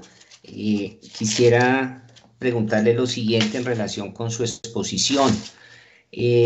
cuando él menciona cuando usted menciona, profesor, en relación con el conducir a la sociedad, que es una labor eh, que tiene el gobernante, el que está ejerciendo el gobierno, y también comenta que el gobierno tiene una categoría eh, que hay que tener en cuenta, que es el, orden jurídico, empezando por la constitución, eh, y también menciona usted que en ese ejercicio de, digamos, del gobernar, está también la mediación política eh, en relación con las fuerzas sociales. Mi inquietud es la siguiente. En el caso de Colombia, eh, en hechos ocurridos recientemente que todos conocemos, cuando una comunidad indígena está citando al presidente de la República a un lugar del territorio, está citando al gobernante y el gobernante dice, no, yo no asisto allá porque yo soy la suprema autoridad y, estaría perdiendo autoridad, tal vez sea su, su, discernimiento, pero también la constitución que usted está señalando eh, expresa que el gobernante, en este caso el presidente, es símbolo de la unidad nacional y también tiene la categoría de servidor público. ¿Cómo conjugar esos aspectos, más aún teniendo en cuenta que el no asistir o el asistir a esa cita implica o eh, tiene unas consecuencias, tiene unas consecuencias concretas eh, en favor o no de su gobernabilidad. Yo quisiera, profesor, si es tan amable, eh, escuchar su opinión en ese sentido. Gracias. Muchas gracias, Carlos Alfredo. Y vamos con la pregunta del profesor Salazar. Profesor Jesús, muchas gracias. Qué bueno tenerlo en este escenario. Qué bien. Profesor, pues a ver, desde el punto de vista, yo trato de hacer como una, un enfrentamiento entre estos pronunciamientos de, de, de tratadistas, de pensadores, de pensadores sobre lo público. De pensadores sobre lo público y la realidad que nosotros cotidianamente vemos. Todos sabemos que con la constitución del 91 y siguiendo los requerimientos del Acuerdo de Washington, Colombia adoptó un modelo de, trasladar gran parte de las funciones del Estado a través de los intermediarios económicos. Y allí un entramado de intereses que conllevaron a una tensión, una tensión entre el, deber ser del papel del Estado y la realidad cotidiana. Y para, para, para, no ir muy lejos, miremos lo que pasó con el COVID. A mí me gusta mucho tomar el tema de salud porque es donde más se refleja esa problemática cómo el Estado, con la Constitución del 91, le entregó el funcionamiento de una actividad fundamental del Estado, como es preservar la salud de los habitantes. Sin embargo, en esta, en esta campaña, en este evento de la pandemia, cuando ya él trata de retomar ese papel del Estado, eh, ¿cómo dice?, involucrar o meterse en acciones específicas de, de, de control de la pandemia, tiene que pedirle permiso a las EPS para poder funcionar adecuadamente y la respuesta se ve prolongada en el tiempo y lógicamente la efectividad no se ve, no se ve como debería de verse. Entonces, desde el punto de vista práctico, ¿cuál, cuál sería la, la reflexión que se hace sobre un, ese, ese papel del Estado, esa gobernanza desde el punto de vista concreto en un Estado donde eh, el gran impacto de las políticas neoliberales han, digamos, han limitado la capacidad directa del Estado porque ya las entregó a unos intermediarios. Profesor, muchas gracias. Voy a, voy a empezar esta ronda de respuestas para que no se me olvide y ahorita damos eh, lugar a otra. Voy a empezar con la última, el profesor eh, Salazar, porque esto lo venía trayendo, digamos, de varias sesiones de este seminario y que creo que es importante, y es que gobernanza no es igual a democracia, ¿sí? Eh, la gobernanza, uno puede entender que es, cambiemos un modo vertical de conducción de los asuntos públicos desde el gobierno a uno más horizontal. Pero también hay que ser claros que, y esto ya lo señalan otros autores como Guy Peter, eh, que va a señalar que eh, eso no siempre ha garantizado que los que terminen favoreciéndose de esas negociaciones, cooperación de la gobernanza, sea el conjunto de los ciudadanos. Entonces, ahí hay una pregunta y es, ¿cuándo eh, es importante que haya gobernanza y cuándo no? ¿Cuáles son los límites de la gobernanza? Entonces, dice el profesor Salazar, eh, pues estamos hoy atrapados en que hay que pedirle permiso a los privados para poder beneficiar a los ciudadanos. Y yo creo que eso tiene que ver con, con de verdad la discusión sobre el poder político democrático de una sociedad versus los otros poderes. Y ahí es donde yo creo que para organizar la discusión sobre la, la, gobernanza, primero tiene que haber una discusión y un soporte de la democracia. Y sin, sin tener al lado siempre una discusión de la democracia, me parece que puede terminar siendo nocivo para el interés público, digamos, las propuestas de gobernanza. Entonces es como la primera reflexión que hago, profesor Salazar, no sé si con eso doy respuesta. La segunda, eh, yo creo que es muy interesante esta pelea que, se ve entre el gobernante y el gobernar. Eh, lo que uno descubre un poco en esta reflexión y yo descubro acá hablando con ustedes es que el gobernar es una función del Estado y como función no quiere decir que esté solamente en una persona, eh, hay uno que le llamamos gobernante, pero con lo que traté de decir, el gobernar está por muchas instancias. Está el gobernar de la ley, está el gobernar del gobernante y está el gobernar de la administración pública. Y ahí hay un juego que es complejo, y que en Colombia es una tensión permanente, eh, que no se ha logrado resolver porque, por ejemplo, el gobierno eh, de Uribe fue un poder fuerte del gobierno, en contra del gobernar de la ley, ¿sí? Eh, incluso en contra un poco del gobernar de la administración pública. Y ahí es donde yo creo que, que, el problema no es casarse, enamorarse una categoría, sino ponerla en tensión con otras categorías de análisis y de actuación política. Entonces, eh, ¿cómo orar ahí? Y, en eso está el proceso democrático. O sea, yo creo que aquí hay un, tema de, organizar las jerarquías de las de las categorías políticas, de las categorías de análisis, de las categorías de acción. Entonces, eh, ¿qué habría que, o sea, quién podría resolver este tema? ¿sí? En, este, en este caso, nosotros tenemos una instancia para resolver este tema, es la Corte Constitucional. Y ella tendría que decirnos eh, quién está actuando bien en su gobernar. Eh, si, digamos, el gobierno digo yo, eh, la sociedad que eh, los indígenas invocando el gobierno a la ley, o, si, digamos, eh, ahí hay una, una, tensión irresoluble. Entonces yo contestaría eso frente, frente a este tema, y, y, mire lo importante que es también para, para un ejercicio de administración pública esto, ¿sí? Porque digamos que esa es una tensión permanente que se vive incluso en las instituciones eh, públicas, ¿sí? Llega el nuevo directivo nombrado por el gobierno y, a llevarse muchas veces por delante a los procesos de la administración pública de las organizaciones. Y, otras veces llega y los aparatos administrativos completamente cerrados a, a permitirse orientar por la lógica de los gobernantes. Entonces, más bien yo estoy tratando de señalar ahí la complejidad y que esa complejidad nunca debe dejarse de lado para, digamos, poder entender y, organizar la acción pública, ¿sí? Y la última, eh, profesor Chica, pues eh, de alguna forma me alegra ver que los análisis propios eh, coinciden con los de autores como Richard Ross, ¿sí? lo, del gobierno, en términos de la movilización de recursos que tiene que hacer, ¿sí? Eh, el tributario, el de políticas públicas de bienes y servicios y el de la legalidad. ¿Y dónde queda la administración pública? Eh, que le pareciera que la disuelve en esa categoría del gran gobierno, ¿sí?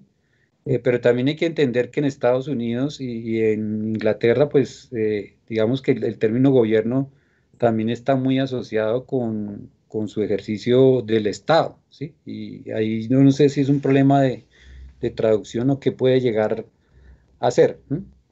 Eh, lo que yo estoy insistiendo es que eh, precisamente acá, acá estamos muy enamorados de los gobiernos y no nos hemos enamorado de la administración pública. Y sin administraciones públicas robustas no hay gobierno que llegue a ningún lugar. Y, digamos que esa esa doble condición, o sea, lo que usted dice que es un borramiento, eh, yo lo que propondría es que tendría que haber es más bien como un robustecimiento de esa administración pública para que pueda haber un ejercicio efectivo de gobernar. Eh, yo creo que hay que quitarnos la seducción que solamente apunta de palabras, de ideas del gobernante, de, digamos, de comunicaciones que se puede gobernar. Por eso hablaba del poder administrativo y el poder de, mm, del poder de dominación. Entonces, bueno, yo ahí hago esa reflexión, eh, profesor Chica. Eh, digamos que me gustaría poder avanzar, no sé, eh, la segunda parte y después recogemos las preguntas que se pueda producir en, este, en esta segunda bloque que está Sandra Isabel, a, cual, a quien yo le pido excusas, le ofrezco excusas mejor. De acuerdo, decano. Sí, entonces si, podemos continuar con la segunda parte, para que no se me quede incompleto eh, las conjeturas, o sea, la, armazón que quiero proponerles. Entonces, la segunda parte, eh, lo que quiero tratar de mostrar es que eh, el ejercicio de gobernar depende, digamos, de varios componentes que se han anunciado en momentos históricos diferentes, pero que digamos lo que yo he llamado las modas eh, académicas. Entonces creo que una reflexión muy importante que se hizo en la década de los 70 y 60, que fue la de las formas de gobierno. Me parece fundamental para poder analizar cualquier proceso, situación, eh, configuración de gobernar. Segundo, eh, un campo que es el gobierno en acción, que lo relaciono con las políticas públicas, que es el segundo componente que tendríamos que tener fuerte para entender esto de las formas de gobierno. Tercero, la discusión que hubo sobre gobernabilidad. Y, cuarto, eh, el concepto de gobernanza. Todos estos cuatro elementos, componentes, desde mi perspectiva eh, y teniendo en cuenta los contextos históricos, ¿no? Eh, es lo que va a permitir la conducción de las sociedades desde el ejercicio de las autoridades. Entonces, voy con la primera forma de gobierno. Eh, cuando eh, uno hace una revisión eh, del concepto gobierno, y esto lo muestra muy bien Paolo Colombo y lo muestra muy bien Bobbio, Norberto Bobbio, él va a mostrar que la reflexión que se hizo sobre gobierno y gobernar fue alrededor de los regímenes políticos. Y digamos que esto se dio eh, tanto por parte de los analistas contemporáneos frente a los antiguos eh, o frente a otras épocas, como por quienes vivieron esas mismas épocas. Entonces, eh, nos muestran que, digamos, en la antigüedad se fundamentó mucho este tema del gobierno en los diferentes tipos de gobierno. ahí estuvo Aristóteles con sus formas de gobierno puro, puras o corruptas, eh, donde estaban por un lado la monarquía, la aristocracia o la república y por otro lado estaban sus degeneraciones eh, que eran la tiranía, que eran la oligarquía y que eran la democracia. aquí aparece la democracia como un tipo de régimen corrupto. Pero esto para decir cómo se organizaba el poder o la autoridad para poder conducir las sociedades. ¿sí? O sea, este es un tema que, ya venía eh, de antiguo, pero que también tiene que ver con las reglas con los cargos y la composición de los gobiernos. O sea, en Grecia también hubo una discusión sobre cómo tenía que organizarse el poder en unos, eh, bueno, magistraturas, eh, para poder eh, gobernar y la rotación de las magistraturas, etcétera, ¿sí? Pero esta discusión a mí me parece más interesante porque nos va a proponer que siempre hay que hacer una reflexión sobre cuáles son los fines de los gobiernos, ¿sí? O sea, de esas formas de organización del gobierno, los fines, por ejemplo, ellos decían que las puras en Platón son gobiernos que se, que se construyen para la construcción del interés eh, general o el interés del conjunto de los ciudadanos. Puede darse con una mm, monarquía o puede darse con una aristocracia, puede darse con una república. Para él la ideal es la república porque es una combinación de, las anteriores, ¿sí? Eh, pero también hay otras que pues son esas formas corruptas entonces dice uno es para el gobierno de uno, ¿sí? O el gobierno del déspota, otra es para el gobierno de los ricos, otra es para el gobierno de los pobres, ¿sí?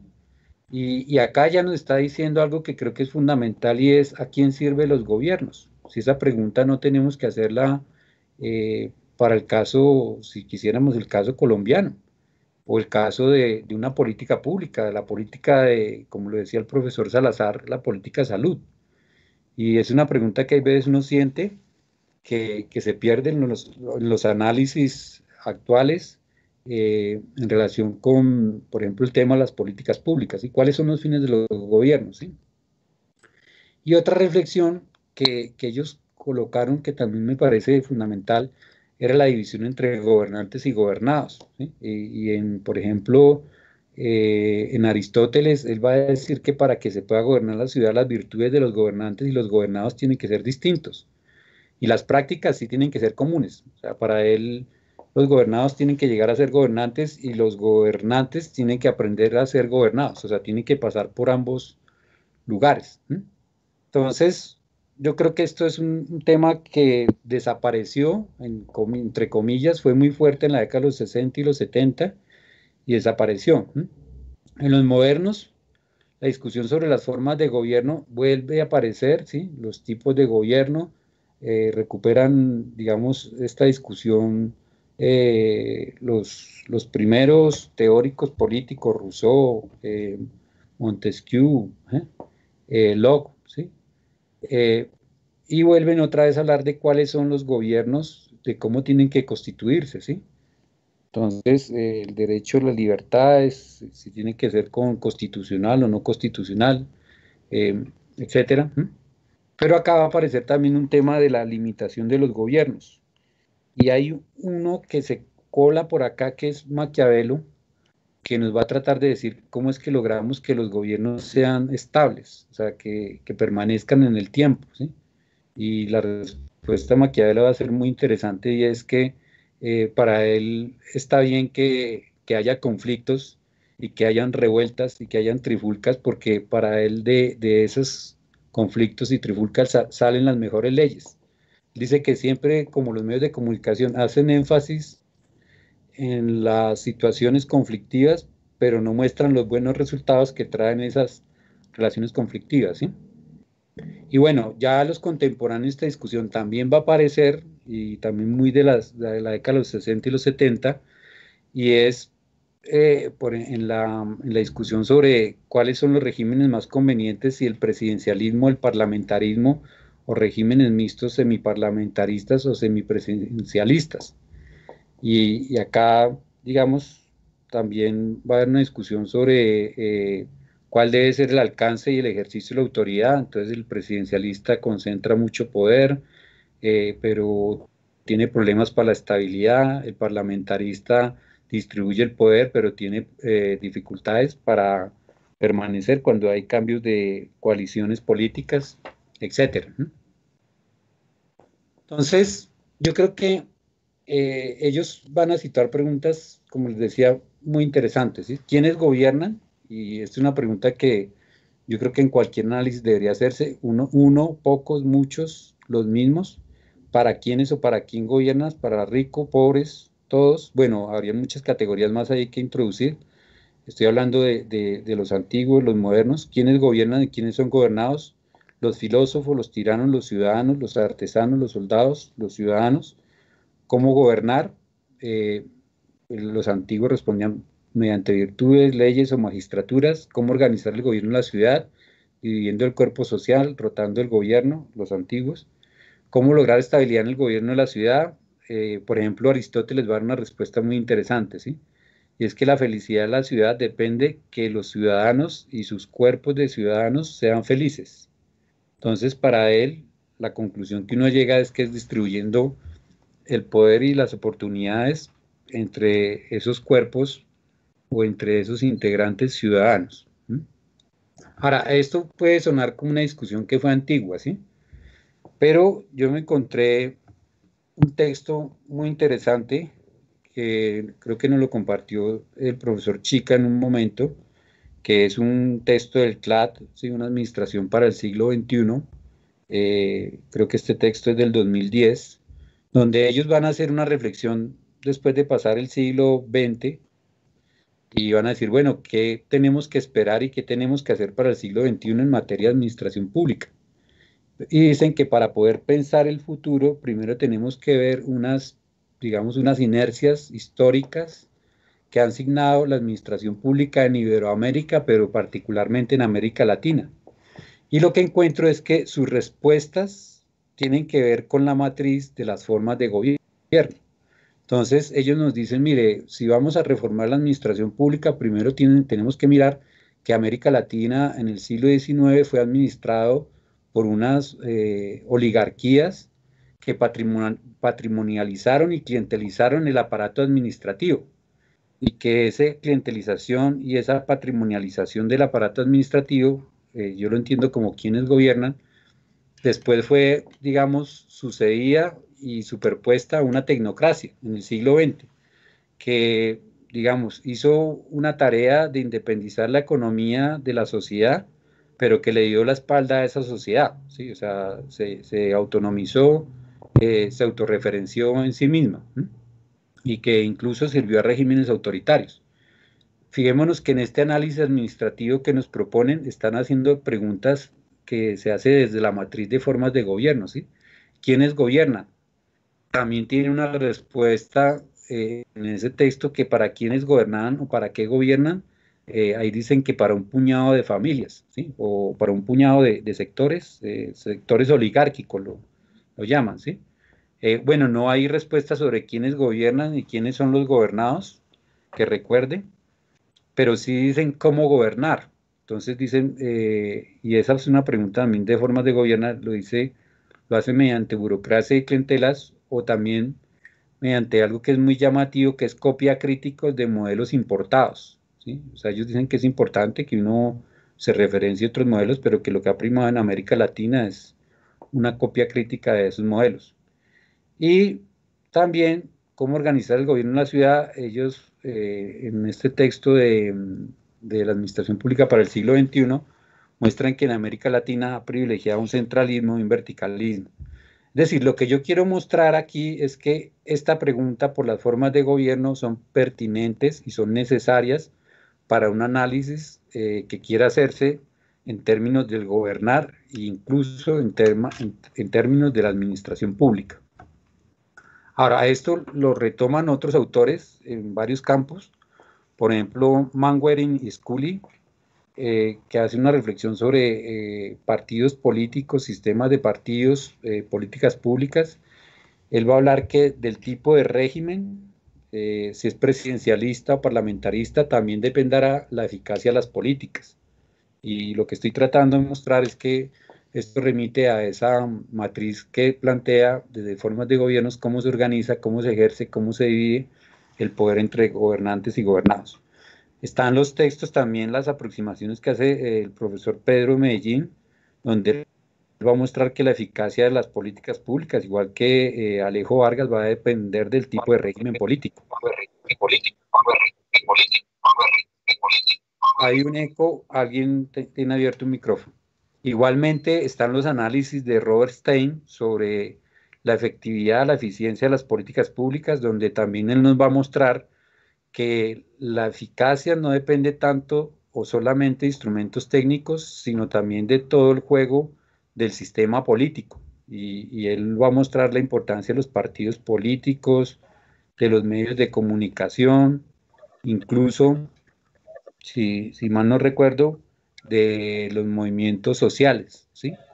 Entonces, eh, acá también están mostrando que un análisis de política pública o administración de factibilidad de éxito, porque lo que el argumento es un poco sencillo, ¿sí?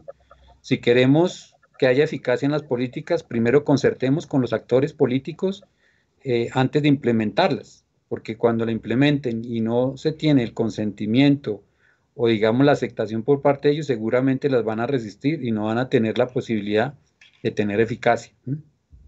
Otros actores, eh, otros autores, perdón, Nuria Cunil, Richard Harry, por ejemplo, él dice que el problema de la administración pública en Nuria Cunil es introducir otras fuerzas políticas al campo de la administración pública. Y, en esta lógica es como meter el poder de los ciudadanos al poder de las burocracias o las élites que controlan el Estado para poder transformarlas. Lo mismo eh, eh eh, que últimamente sus trabajos han señalado sobre el gobierno abierto y, digamos, introducir el poder de los ciudadanos. Y yo acá cito Antanas Mocus, yo no sé si él puede ser referenciado como un intelectual, aunque tiene muchos textos sobre cultura ciudadana, y es que él tiene una tesis muy interesante eh, que yo estuve trabajando precisamente con ocasión del doctorado, que es que solamente se gobierna eh, con la ciudadanía, o sea, construyendo ciudadanos. Entonces, de esta, de esta aproximación que fue de los 60 y 70 y que se ha pretendido dejar atrás sobre las formas de gobierno, yo creo que hay una serie de elementos eh, importantes que se podrían tomar de ellos. Ya vuelvo a esta diapositiva, voy a esta, ¿sí? Que los, las siguientes preguntas, ¿sí? Eh, ¿Quiénes gobiernan? ¿sí? Eh, y piénselo usted para cualquier análisis de política pública, eh, que ya las muestro, o de sector social. ¿Para quiénes o qué gobierna? ¿sí? ¿Cómo se organiza el gobierno? ¿Cómo gobernar y quiénes son los gobernados? Y acá digo yo que en todos estos temas eh, uno podría decir que las formas del gobierno van a permitir identificar eh, estos elementos, ¿sí? los fines del Estado y del gobierno, su organización y estructura institucional, los derechos y obligaciones de individuos y grupos, el régimen territorial, el acceso al poder, las cargas tributarias, la asignación del gasto. O sea, de la forma de gobierno se van a definir cosas tan importantes como estas. Entonces, un análisis de política pública, un análisis de sector público, un análisis de acción de organización que no tenga en cuenta estas reglas del juego que se derivan desde las formas de gobierno, pues difícilmente va a poder llegar a ser de alguna forma integral y va a ser completamente explicativo. Entonces, eh, estos son aportes de preguntas que yo creo que van a permitir este, esta primera aproximación al tema de gobierno, formas de gobierno, ¿sí? Eh, definir estos interrogantes frente al tema de la conducción de la sociedad. Vamos al segundo campo y es el gobierno en acción. Eh, yo lo asocio acá con un campo que emerge con fuerza eh, en la década de los 60, pero ya venía de los 40, que es el, el campo de las políticas públicas, que se asocia con el gobierno en acción y aparece acá tres conceptos, nociones, que esto es como el ABC de los que orientan la asignatura de políticas públicas, eh, la distinción entre palabras, que es el de política, comunidad política, politics, la lucha por el poder del Estado y policy, las acciones públicas del gobierno del Estado para intervenir o resolver determinados problemas. O sea, esto nos vuelve a situar en algo que yo ya mencionaba que, que coloca de presente tanto Foucault como los clásicos de la administración pública, y es que el campo de lo político se constituye también por un ejercicio de acciones de gobierno o de autoridades y es precisamente el campo de las policies eh, la que nos va a permitir explicar esto, el campo de las políticas públicas. Que, digamos, cuando ya aparece eh, el concepto con, mayor centralidad, pregnancia, relevancia en el conjunto de la sociedad nos trae eh, dicho concepto, ¿sí? ¿Qué pretendía? Uno, eh, precisamente por la burocratización, ¿sí? Eh, por el crecimiento del Estado, lo que no se veía es que los gobiernos pudieran conducir al Estado y las políticas públicas pretendieron ser como mecanismos o instrumentos con los cuales los gobernantes en regímenes democráticas que son temporales pudieran darle dirección y sentido al Estado, o sea, poder conducir al Estado. Entonces las políticas públicas aparecen en este registro de la acción pública como una forma de poder conducir el Estado. Lo segundo, también rompiendo esas lógicas de, burocratización, era poder impactar la sociedad. O sea, eh, si el registro de la acción del Estado antes era porque cumplían las reglas, lo que se pretendió con las políticas públicas es que esa acción del Estado se convirtiera en efectos reales para la sociedad. Entonces empezaron a medirse y a proyectarse qué efectos concretos querían tenerse eh, frente al conjunto de la sociedad. Y por eso las políticas públicas están asociadas, por un lado, a objetivos, metas eh, y resultados, y también con promesas de gobierno, promesas de gobierno que se llegan a cumplir. Eh, el tercer elemento que relaciona lo anterior es conseguir hechos de gobierno. Eh, las políticas públicas fue una forma de que las intenciones, las promesas, los compromisos de campaña de gobierno pudieran, eh, pudieran convertirse en hechos de gobierno. Es decir, no solamente que quedaran como parte del proceso eh, electoral democrático, sino una vez vuelto gobierno, esas fuerzas que llegaron al poder se convirtieran en hechos reales de gobierno. Y finalmente, las políticas públicas también fue una forma de responsabilizarse. Eh, los gobernantes frente a sus compromisos, y es decir, mire, yo prometí, me comprometí a esto, ustedes me eligieron, estos son los resultados, los productos que van a llegar a, obtener. ¿Qué es lo que buscaba? Digo yo acá de una forma tal vez eh, sin sopesarlo demasiado. ¿Qué es lo que buscaban las políticas públicas? Una parte fundamental era que el gobierno pudiera gobernar. Sea, que hubiera gobierno no significaba que pudiera gobernar. Y las políticas públicas fueron dispositivos creados en buena parte para que los gobiernos de turno pudieran gobernar y pudieran lograr estos diferentes elementos que hemos señalado. Fijémonos que la categoría gobierno, al menos en un inicio, siempre fue central en, el, en la discusión y en la reflexión sobre las políticas públicas. Eh, Eklund Wildavisky señala que la política pública es una acción gubernamental dirigida hacia el logro de objetivos fuera de ella misma. ¿sí? Eh, otro autor, Guy Peter, dice que la política pública es el conjunto de actividades de las instituciones de gobierno. ¿sí? Otra vez vuelve ahí el tema gobierno actuando directamente a través de agentes y que van dirigidas a tener una influencia determinada sobre la vida de los ciudadanos. Hay otro de Menin y Tonin que dice que es la acción de las autoridades públicas en el seno de la sociedad. La política pública se transforma en un programa de acción de una autoridad pública. Aquí ya hay un desplazamiento que vemos con Tony que no lo refiere al gobierno, sino que ya lo habla de autoridades públicas. Y a continuación vamos a ver que ya incluso en estas otras dos secciones, que son de Müller y Surel y otra de Alejo Vargas, ya ni se menciona al gobierno.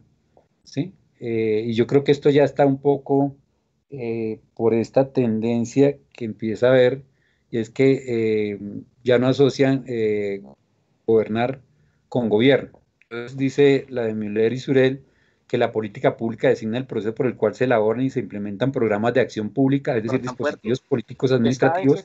esto no se ha visto y cada vez que sucede, esto no se ha visto. Eh, por ahí están hablando, eh, cierran el micrófono, son tan amables.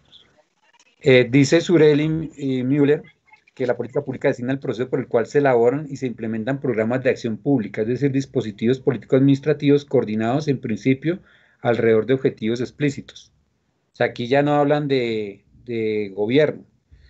Y en el otro, las políticas públicas son el conjunto de sucesivas iniciativas, decisiones y acciones del régimen político frente a situaciones socialmente problemáticas y que buscan la resolución de las mismas o llevarlas a niveles manejables. Si nos damos cuenta, lo que yo pretendo mostrar es que la discusión sobre gobierno se metió, se coló mediante la discusión de las políticas públicas y que esta discusión eh, remite a, una categoría que es central del gobierno y es la acción. Cualquier definición que ustedes vean sobre, sobre, sobre políticas públicas está en, en el centro de ella las acciones públicas, programas de acciones, la acción pública, el conjunto sucesivo de acciones, etcétera. Es un actuar. Entonces, eh, con esto también yo veo que aquí hubo intersecciones con, el tema de, la anterior discusión de eh, las formas de gobierno. Eh, la discusión de políticas públicas inició, pues dicen que uno de los padres fundadores fue Harold Ladwell, de los 40, donde él pretende que la acción pública se base en recursos de información, que el conocimiento, la academia acompañe más a los formuladores de políticas públicas, eh, donde pretende que haya una racionalidad técnica que oriente, digamos, la acción del, gobierno eh, o del Estado. Pero esa discusión en la década de los 80 eh, empieza a tomar un giro que es muy interesante, y ahí aparece Limblom, y también ya en los 90 va a aparecer Sabatier, donde nos va a mostrar que la política pública se ejerce y se, configura menos por la racionalidad técnica eh, o la racionalidad científica, si se quiere, y más por el conjunto de juegos de poder propios de, la, de las formas de gobierno. ¿sí? O sea, la acción pública tiene que ver con las formas de gobierno, o sea, es lo que yo eh, logro derivar de acá. Entonces leo un poco lo que, lo que plasmo en la diapositiva, ¿sí? Y es que para Charles Limblom la formulación de políticas públicas afecta una pluralidad de decisores y analistas donde lo que prima es la competencia entre ideas y no la habilidad analítica de un rey filósofo o cualquier élite de intelectuales que pueda comparársele insistirá sobre el carácter político de las políticas al punto que llevará a divisarlas como las resultantes de juegos de poder, entendiendo por este las interacciones políticas por medio de las cuales se controla a los demás. Diferentes mecanismos mediante los cuales puede ejercerse el poder están en la base de las políticas públicas señalando a la amenaza, la intimidación, la recompensa, la persuasión, el fraude, el prestigio, el dinero, la autoridad como formas de ejercerlo. Sabatier va a plantear que las políticas públicas dependen de, un juego de coaliciones, o sea, de alianzas eh, entre actores eh, con diferentes intereses y creencias eh, que van a dar lugar en un proceso, más o menos lo va a plantear el de 10 años, a coaliciones de política, o sea, coaliciones de actores. Y estas coaliciones, un conjunto de actores que se unen, interactúan y coordinan para perseguir sus intereses, principios y creencias actores que se adhieren para incidir en la toma de decisiones o en la implementación. ¿sí? Eh, señala que el subsistema políticas, y él prefiere hablar de subsistema política antes que de sector organización, porque dice que está integrada por diferentes niveles de gobierno y múltiples relaciones intergubernamentales, al igual que por actores de distinto tipo de carácter público y privado, llegando en ocasiones a tener hasta escalas internacionales. ¿Qué es lo que estoy mostrando? Tratando de mostrar que aquí el tema de gobernar, eh, si bien tiene que ver con un tema de la acción, es un tema que también se está permeando por el tipo de, régimen político o el tipo de forma de gobierno que predomine y cómo esta forma de, gobierno, digamos, que esté organizada. ¿sí?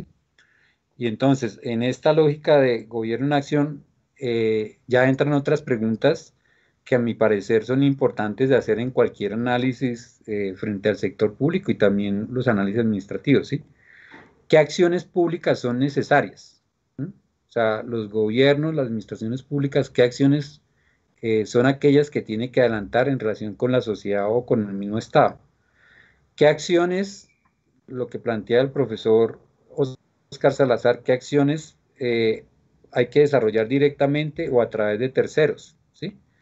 o también qué y cómo configurar programas de acción, o qué actores, intereses y creencias configuran la acción pública, o qué mecanismos o estrategias utilizar.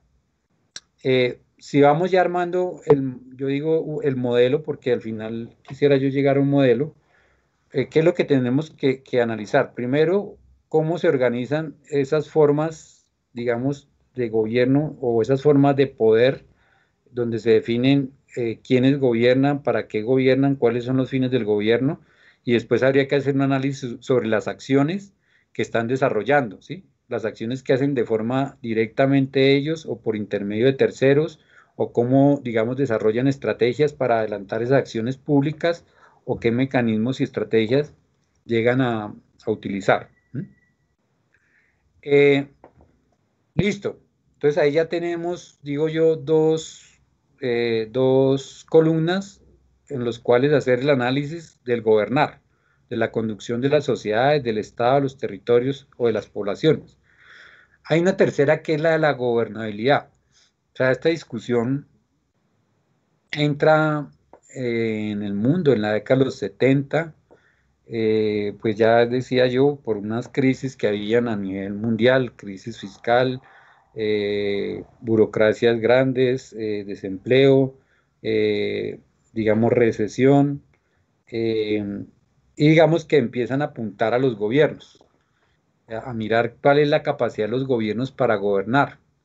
Y esto, digamos que tiene tres corrientes que desde mi perspectiva logro identificar, que es la, el ala conservadora, o sea, esta discusión de gobernabilidad para mí fue tratar de desmontar los logros de la democracia. Entonces estuvo la comisión trilateral que estaba eh, Crozier, Huntington y Watanaki, creo que es el, apellido, donde ellos dijeron el problema que pasa con los gobiernos para que no gobiernen es, que hay muchas demandas y se le han creado muchas expectativas a los ciudadanos. Entonces lo que hay que hacer es otra vez como disciplinar cuál es ese orden de demandas y ese orden de expectativas y realmente, como comillas, a sincerarnos a qué sectores de la sociedad puede y no debe eh, intervenir eh, los estados y los gobiernos. Y entonces, digamos que, lo que estaban diciendo es que la democracia estaba trayendo programas de ingobernabilidad eh, o falta de gobernabilidad, que era un tema relacionado con la estabilidad y es hasta dónde esas democracias eran sostenibles en el tiempo, dado esa presión de demandas y expectativas creadas. Hubo otra que yo la encontré más en el caso colombiano eh, y muy por el lado de, del director actual Pedro Medellín, donde muestra que el problema de la ingobernabilidad, de la gobernabilidad, perdón, tiene que ver con la potencia e impotencia de los gobiernos para conseguir sus resultados. Y él lo menciona en una frase muy sencilla, es cómo convertir intenciones en hechos de gobierno, si los gobiernos están en capacidad de cumplir sus propósitos. Eso también estuvo relacionado con esta discusión sobre gobernabilidad. Y otra que yo llamo una ala institucional que tuvo que ver con qué competencias contaban los gobiernos y los aparatos de Estado, los aparatos administrativos para conseguir sus finalidades. Fíjese que si la primera era cuáles son las reglas del juego, la segunda cuáles son las acciones, la tercera línea que se origina con esta línea, con esta otra aproximación, perdón, es el de que, con qué capacidades. No es suficiente tener buenas reglas del juego, no es suficientemente desempeñar buenas acciones o determinadas acciones, sino también es importante tener las capacidades para conseguirlo. Y yo creo que ese es el aporte que esta línea va a traer. Eh, Sin embargo, esta discusión de la gobernabilidad, como ya lo, había señalado, eh, trajo un tono negativo, desde parecer pesimista y de urgencia acerca del destino de las sociedades y se planteó la discusión bajo un verso, un contrario, y es que, eh, o sea, le dieron un tono de urgencia a que había que hacer estas reparaciones o estos ajustes del Estado en general. Entonces empezaron a hablar de la ingobernabilidad. Yo creo que se hablaba más de ingobernabilidad que gobernabilidad. Y entonces eh, se asoció ingobernabilidad con inestabilidad, impotencia, desconcierto y bajo una lógica apocalíptica. O empezó a decirse, y eso empezó a escucharse en todo lado, no sé, eh, profesores, si ustedes me dan la razón, eh, a finales de los 80 y los 90 todo era crisis de gobernabilidad. Bueno, y en Colombia tuvimos un caso como el de Samper, que decían que había una crisis de gobernabilidad. de tal forma que toda afectación negativa, política, económica o social empezó a relacionarse con ello. Y esto también tuvo que ver, esta crisis de gobernabilidad, o que llamaban ingobernabilidad, con una desconfianza e incredulidad general en relación con el gobierno, el parlamento, los partidos y las burocracias. y empezaron eh, eh, a mostrar que había, digamos, una falta de identificación, una distancia eh, de los ciudadanos hacia todas las instituciones del Estado.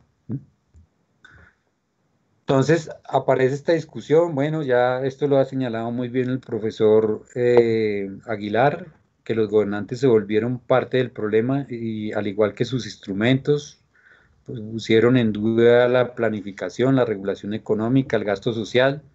Eh, señala que el, el, propio profesor Aguilar dice que como se dio la discusión del enfoque gobernabilidad fue estrictamente gubernamental, es decir, que se centró en las condiciones y comportamientos del gobierno.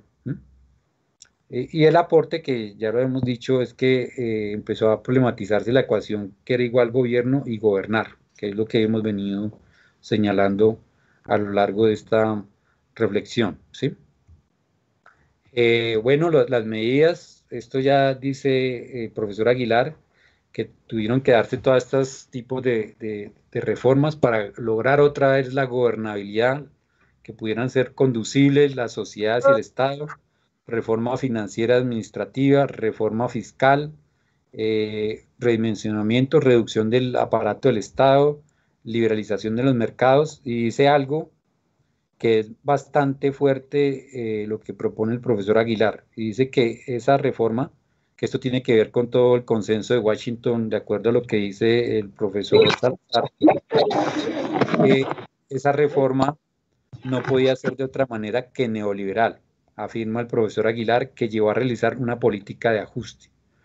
Entonces, eh, yo creo que acá uno ve que la gobernabilidad, la discusión sobre capacidades eh, pertinente, eh, del diagnóstico para América Latina era un poco exagerado, porque primero en, América Latina hasta la década de los 80 no habían democracias, solamente tres países de 23 países que, lo integran eh, eran democracias, el resto no. Entonces aquí no se le podía atribuir al exceso de demandas de la sociedad a la crisis de los estados.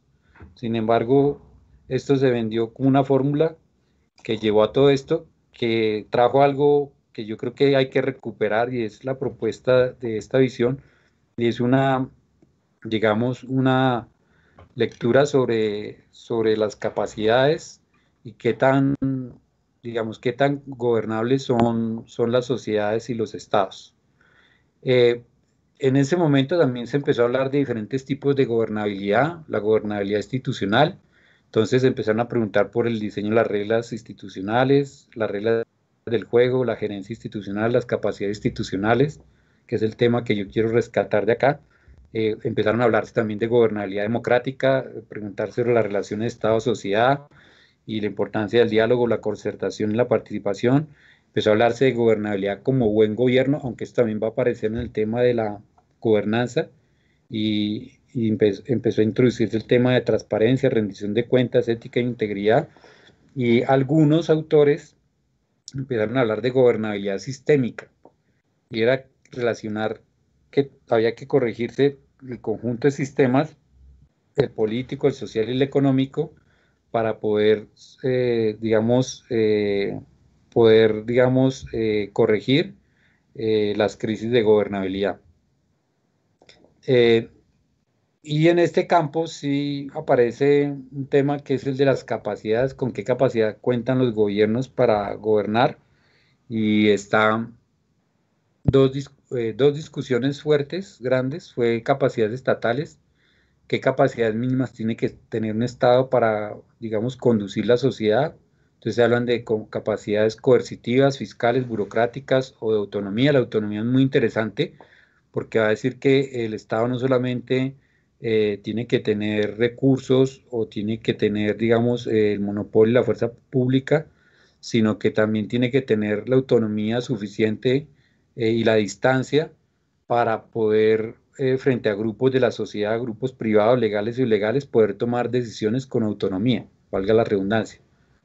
Entonces, este tema de capacidades estatales, eh, pues un campo fuerte que llegó a, entró a discutirse. La otra es capacidades institucionales, cómo lograr para ser eficaz esa acción y cómo lograr corregir las situaciones que podrían interferir en la posibilidad de conseguir los resultados.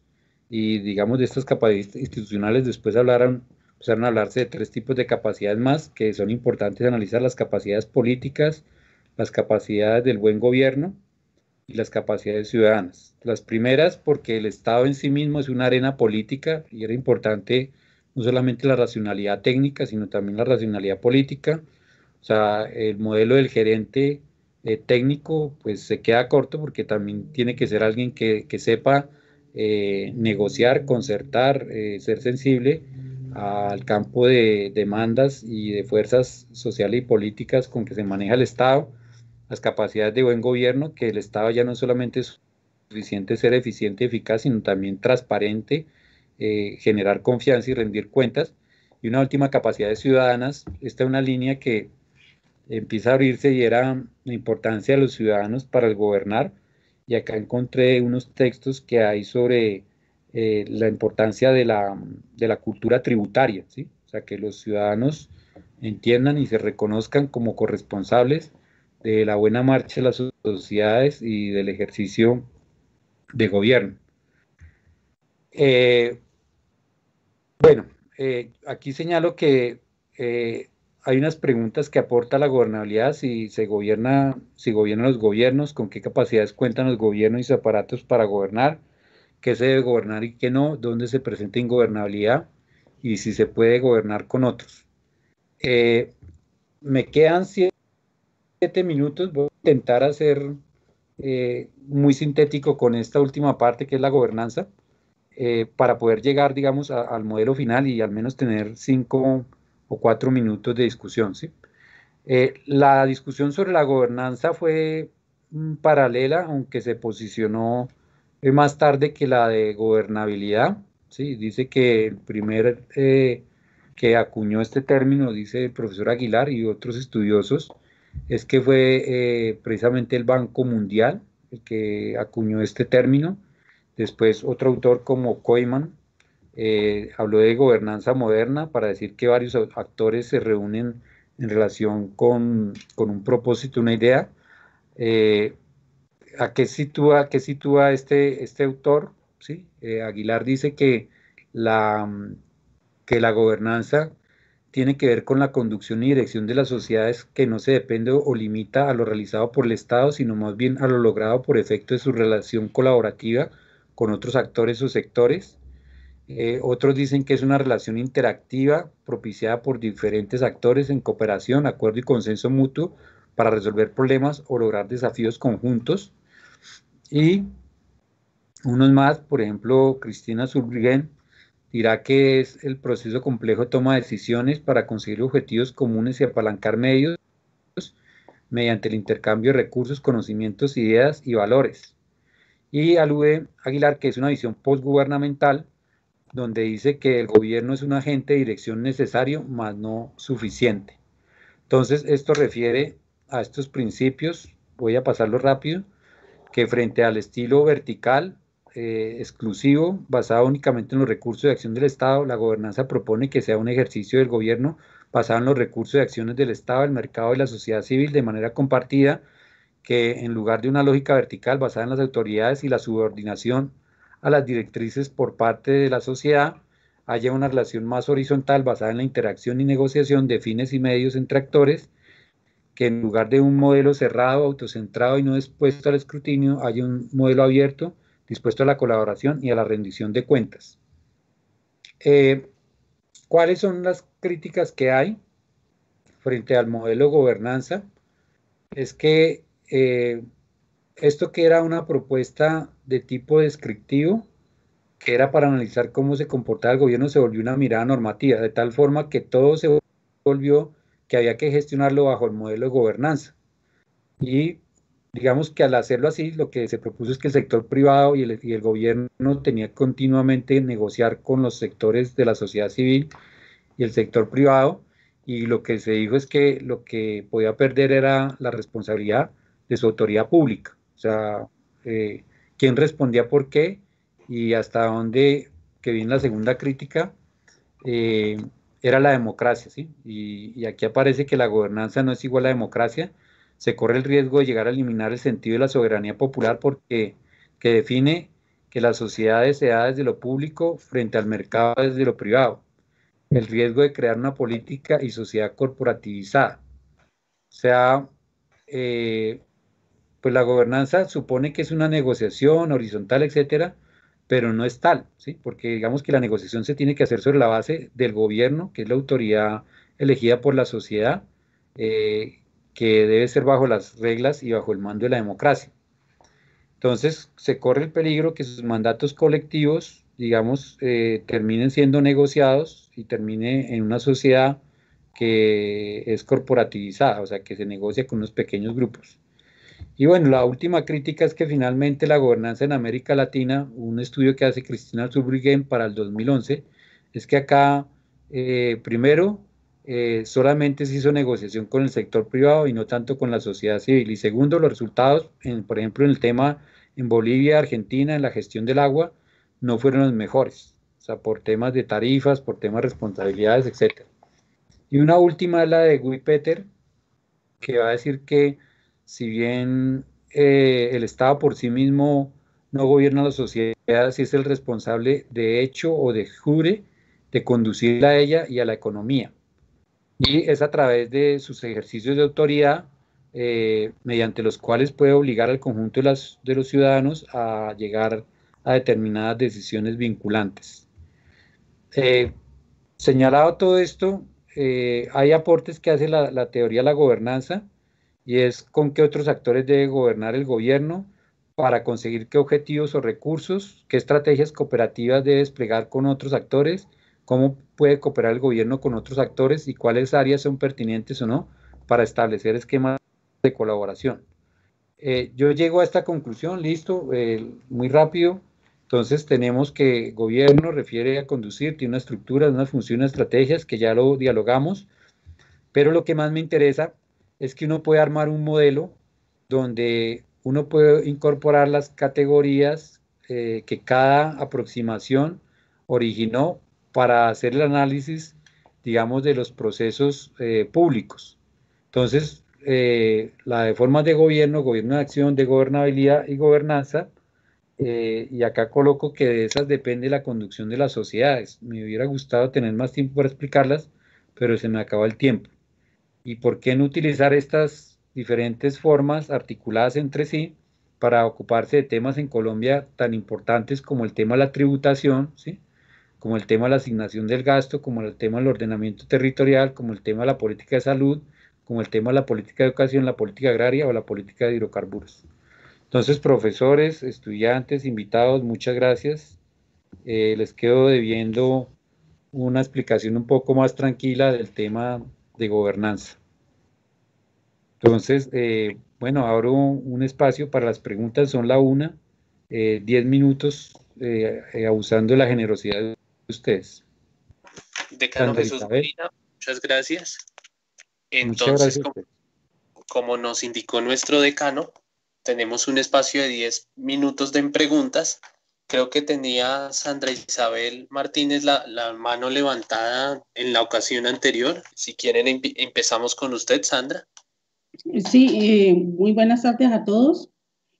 Yo, retomando lo del profesor Oscar Salazar, yo sí creo que ha ido como una, eh, se ha presentado como una desviación o como una deformación en la forma de el gobierno y la gobernabilidad, partiendo de que, tomando el tema de salud, que es el tema como más, más álgido que tenemos y más sensible que tenemos en este momento en nuestro país, Creo que desde el gobierno, como política pública, como respeto a la constitución y la ley, como el grupo de gobierno que está representado mediante el presidente, el ministro de Salud y los órganos de control, en este caso la Superintendencia Nacional, creo que hay una total falla en el proceso, tanto así que en estos momentos estamos a puertas de una reforma a la, a la ley mediante el proyecto de ley 010, que obviamente nos va a dejar una situación mucho más complicada que la que estamos eh, presenciando.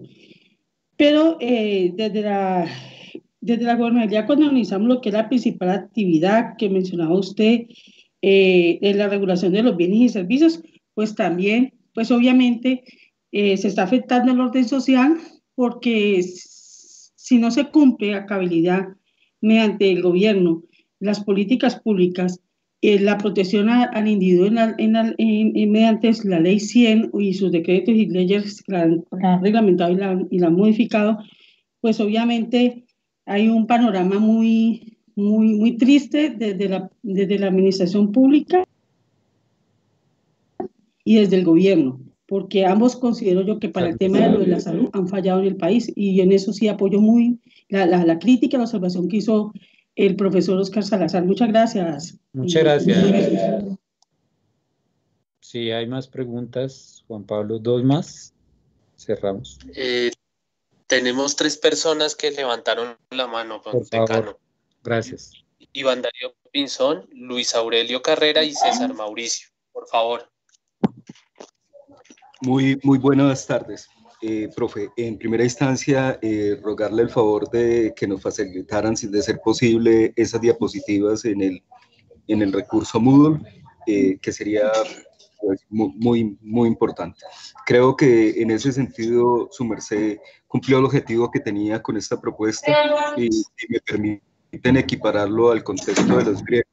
Se me hace que su merced eh, se propuso traducir el lenguaje de los dioses, eh, digo en el contexto de los griegos, eh, a, a, los mortales, especialmente pues contando con que tenemos estudiantes de espacio. la pregunta es,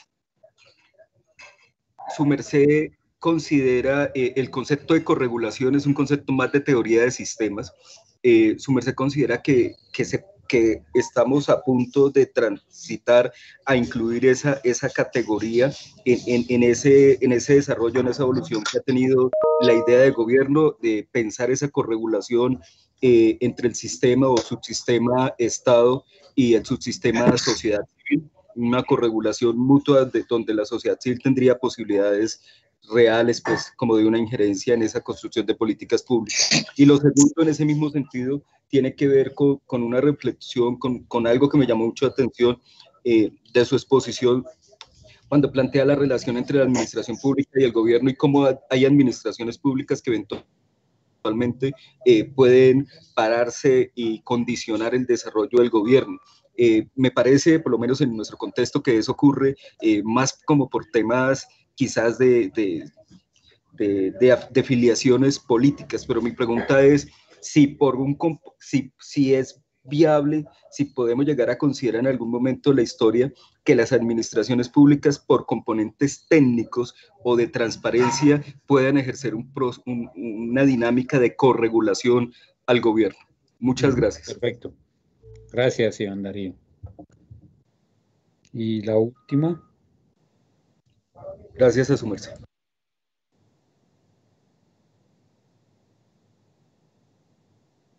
Pues no sé si vamos dando paso, Juan Pablo. Sí, profesor. Tendríamos, sería entonces Luis Aurelio, quien tenía la mano levantada. Como Luis Aurelio, por favor. y terminaríamos con esas intervenciones. Gracias. Gracias. Eh, la territorial buenos días. Para nuestro jefe,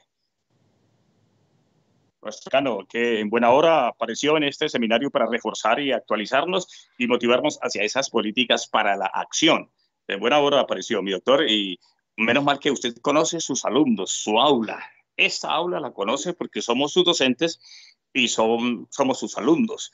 Entonces, eh, quiero muy respetuosamente decirle que todas esas, esas teorías, esas normas, esas leyes, esos ejemplos y esos aportes que los demás expositores en el transcurso de las horas del, del seminario hemos recibido eh, son muy valiosos en cada momento de la historia, en cada producción que ellos han tenido en sus obras y libros, más la bibliografía que usted nos cita hoy, es mucho el material que tenemos para acción.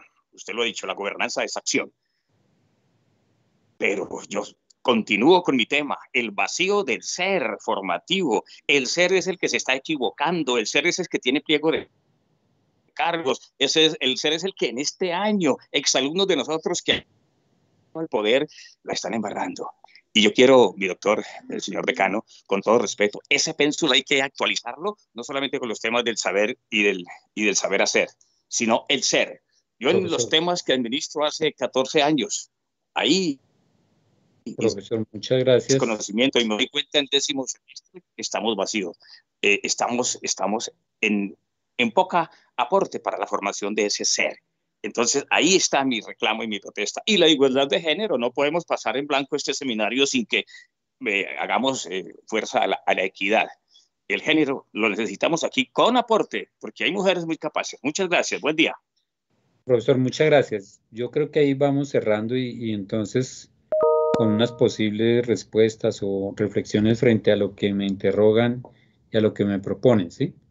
Eh, creo que la pregunta, la primera pregunta de, de, de, Sandra nos sitúa frente al tema que ya habíamos mencionado de un Estado, un gobierno, digamos, que también ha quedado preso de los privados y vuelvo a insistir en que no hay que confundir democracia con gobernanza.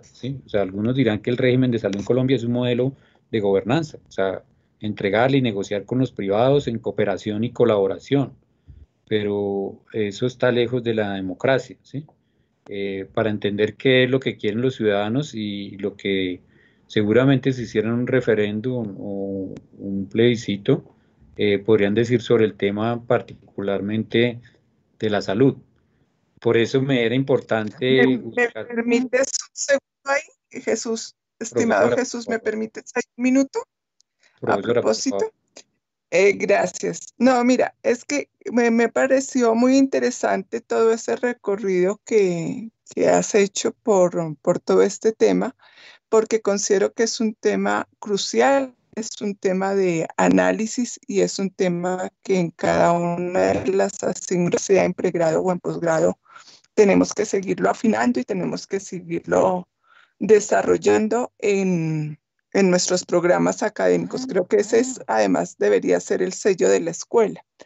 Y en relación como a todo esto me quedó como una, una gran inquietud que es, y está relacionada precisamente con lo que la profe señalaba, por eso es que pido el, el pedir la intervención, y es que precisamente una de las grandes dificultades que quizás tenemos en Colombia y en América Latina en este momento, eh, por la coyuntura y por todas esas cosas que se están presentando, pero es precisamente cómo hacer, ¿no es cierto?, para que desde el gobierno, desde la ciudadanía, efectivamente tengamos los diferentes mecanismos de poder, eh, de poder trabajar con una administración pública que esté eh, al servicio precisamente de la ciudadanía, al servicio de eso que de pronto todavía estamos debiendo en Colombia, que es el Estado social de hecho que tenemos resultados mixtos, que hemos hecho, hecho cosas,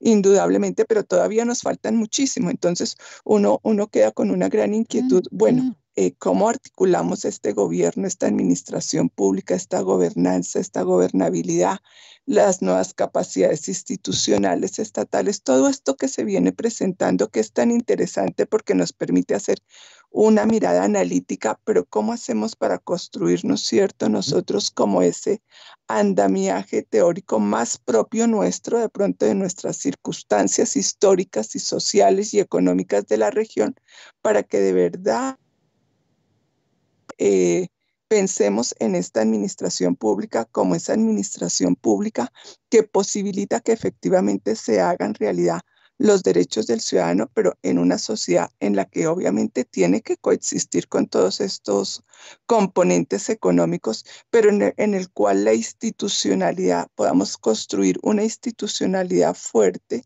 de tal manera que esa institucionalidad permita efectivamente eh, tener como un, control, como diríamos de alguna manera, como así hablamos de los pesos y contrapesos en relación con el gobierno, creo que es como esa figura que la podemos traer un poco acá, pero efectivamente para que, digamos, podamos tener un mayor control, una mayor regulación precisamente sobre estos actores del mercado que, digamos, eh, se nos han vuelto como como el que son como nuestro talón de Aquiles frente a las dificultades que planteamos. Entonces, pienso que tenemos, o sea, que estas charlas nos sirven muchísimo, es para repensarnos en función de la administración pública en América Latina, del papel del Estado y del gobierno hoy. Entonces, creo que ha sido muy provocadora la, la exposición en ese sentido para ponernos a, a repensar este asunto. Muchísimas gracias.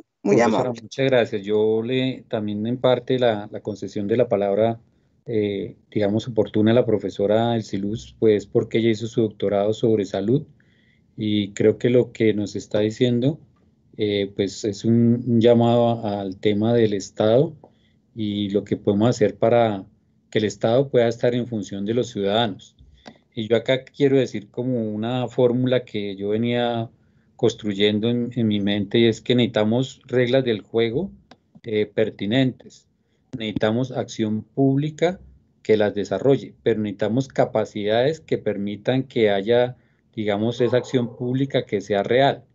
Y necesitamos colaboración con los ciudadanos, que es parte de la gobernanza, eh, para que sea posible. Y con esto paso a la respuesta a la, a la segunda pregunta que me hablan de corregulación. No conozco el concepto a profundidad, pero entendí el sentido en que la sociedad controla el Estado y el Estado la sociedad. Eh, yo creo que esa es una lógica que debería ser así y eso es lo que hace la democracia. la democracia cambia gobiernos para, digamos, controlarlo. Y también hace participación ciudadana y hace rendición de cuenta, etcétera, para poder controlarlo.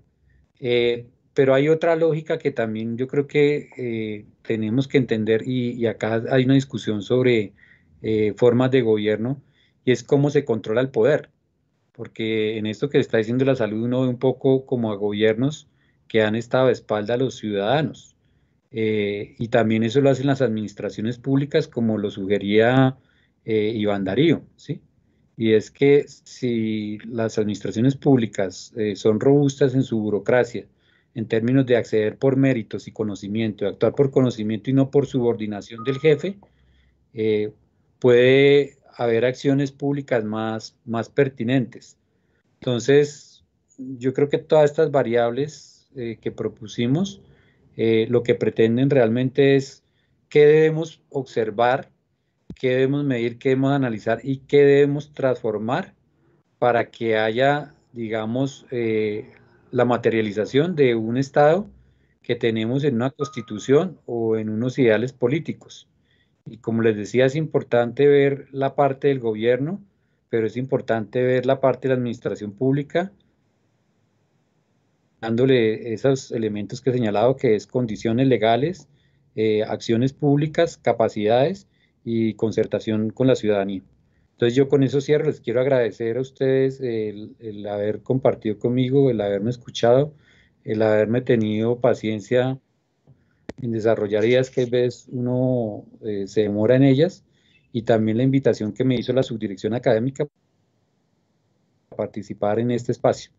Eh, la idea era aportar mis recursos como docente y bueno, eh, seguir en el seminario en la próxima mañana como asistente. Les agradezco mucho eh, lo mismo a todos los que nos han apoyado en, este espacio, a Juan Pablo eh, Lozano en particular. Un agradecimiento. Decano, profesor Jesús Molina, le agradecemos mucho la conferencia tan completa y tan pertinente que nos ha concedido el día de hoy. De esta manera finalizamos nuestra sesión número 17 de nuestro Seminario Internacional de Profundización en Administración Pública. Los invitamos para que el día de mañana se conecten en la sesión número 18 con el profesor Carles Ramió. A todos ustedes, muchas gracias, profesor Jesús Molina. Feliz tarde. Hasta pronto. Bueno, gracias de nuevo.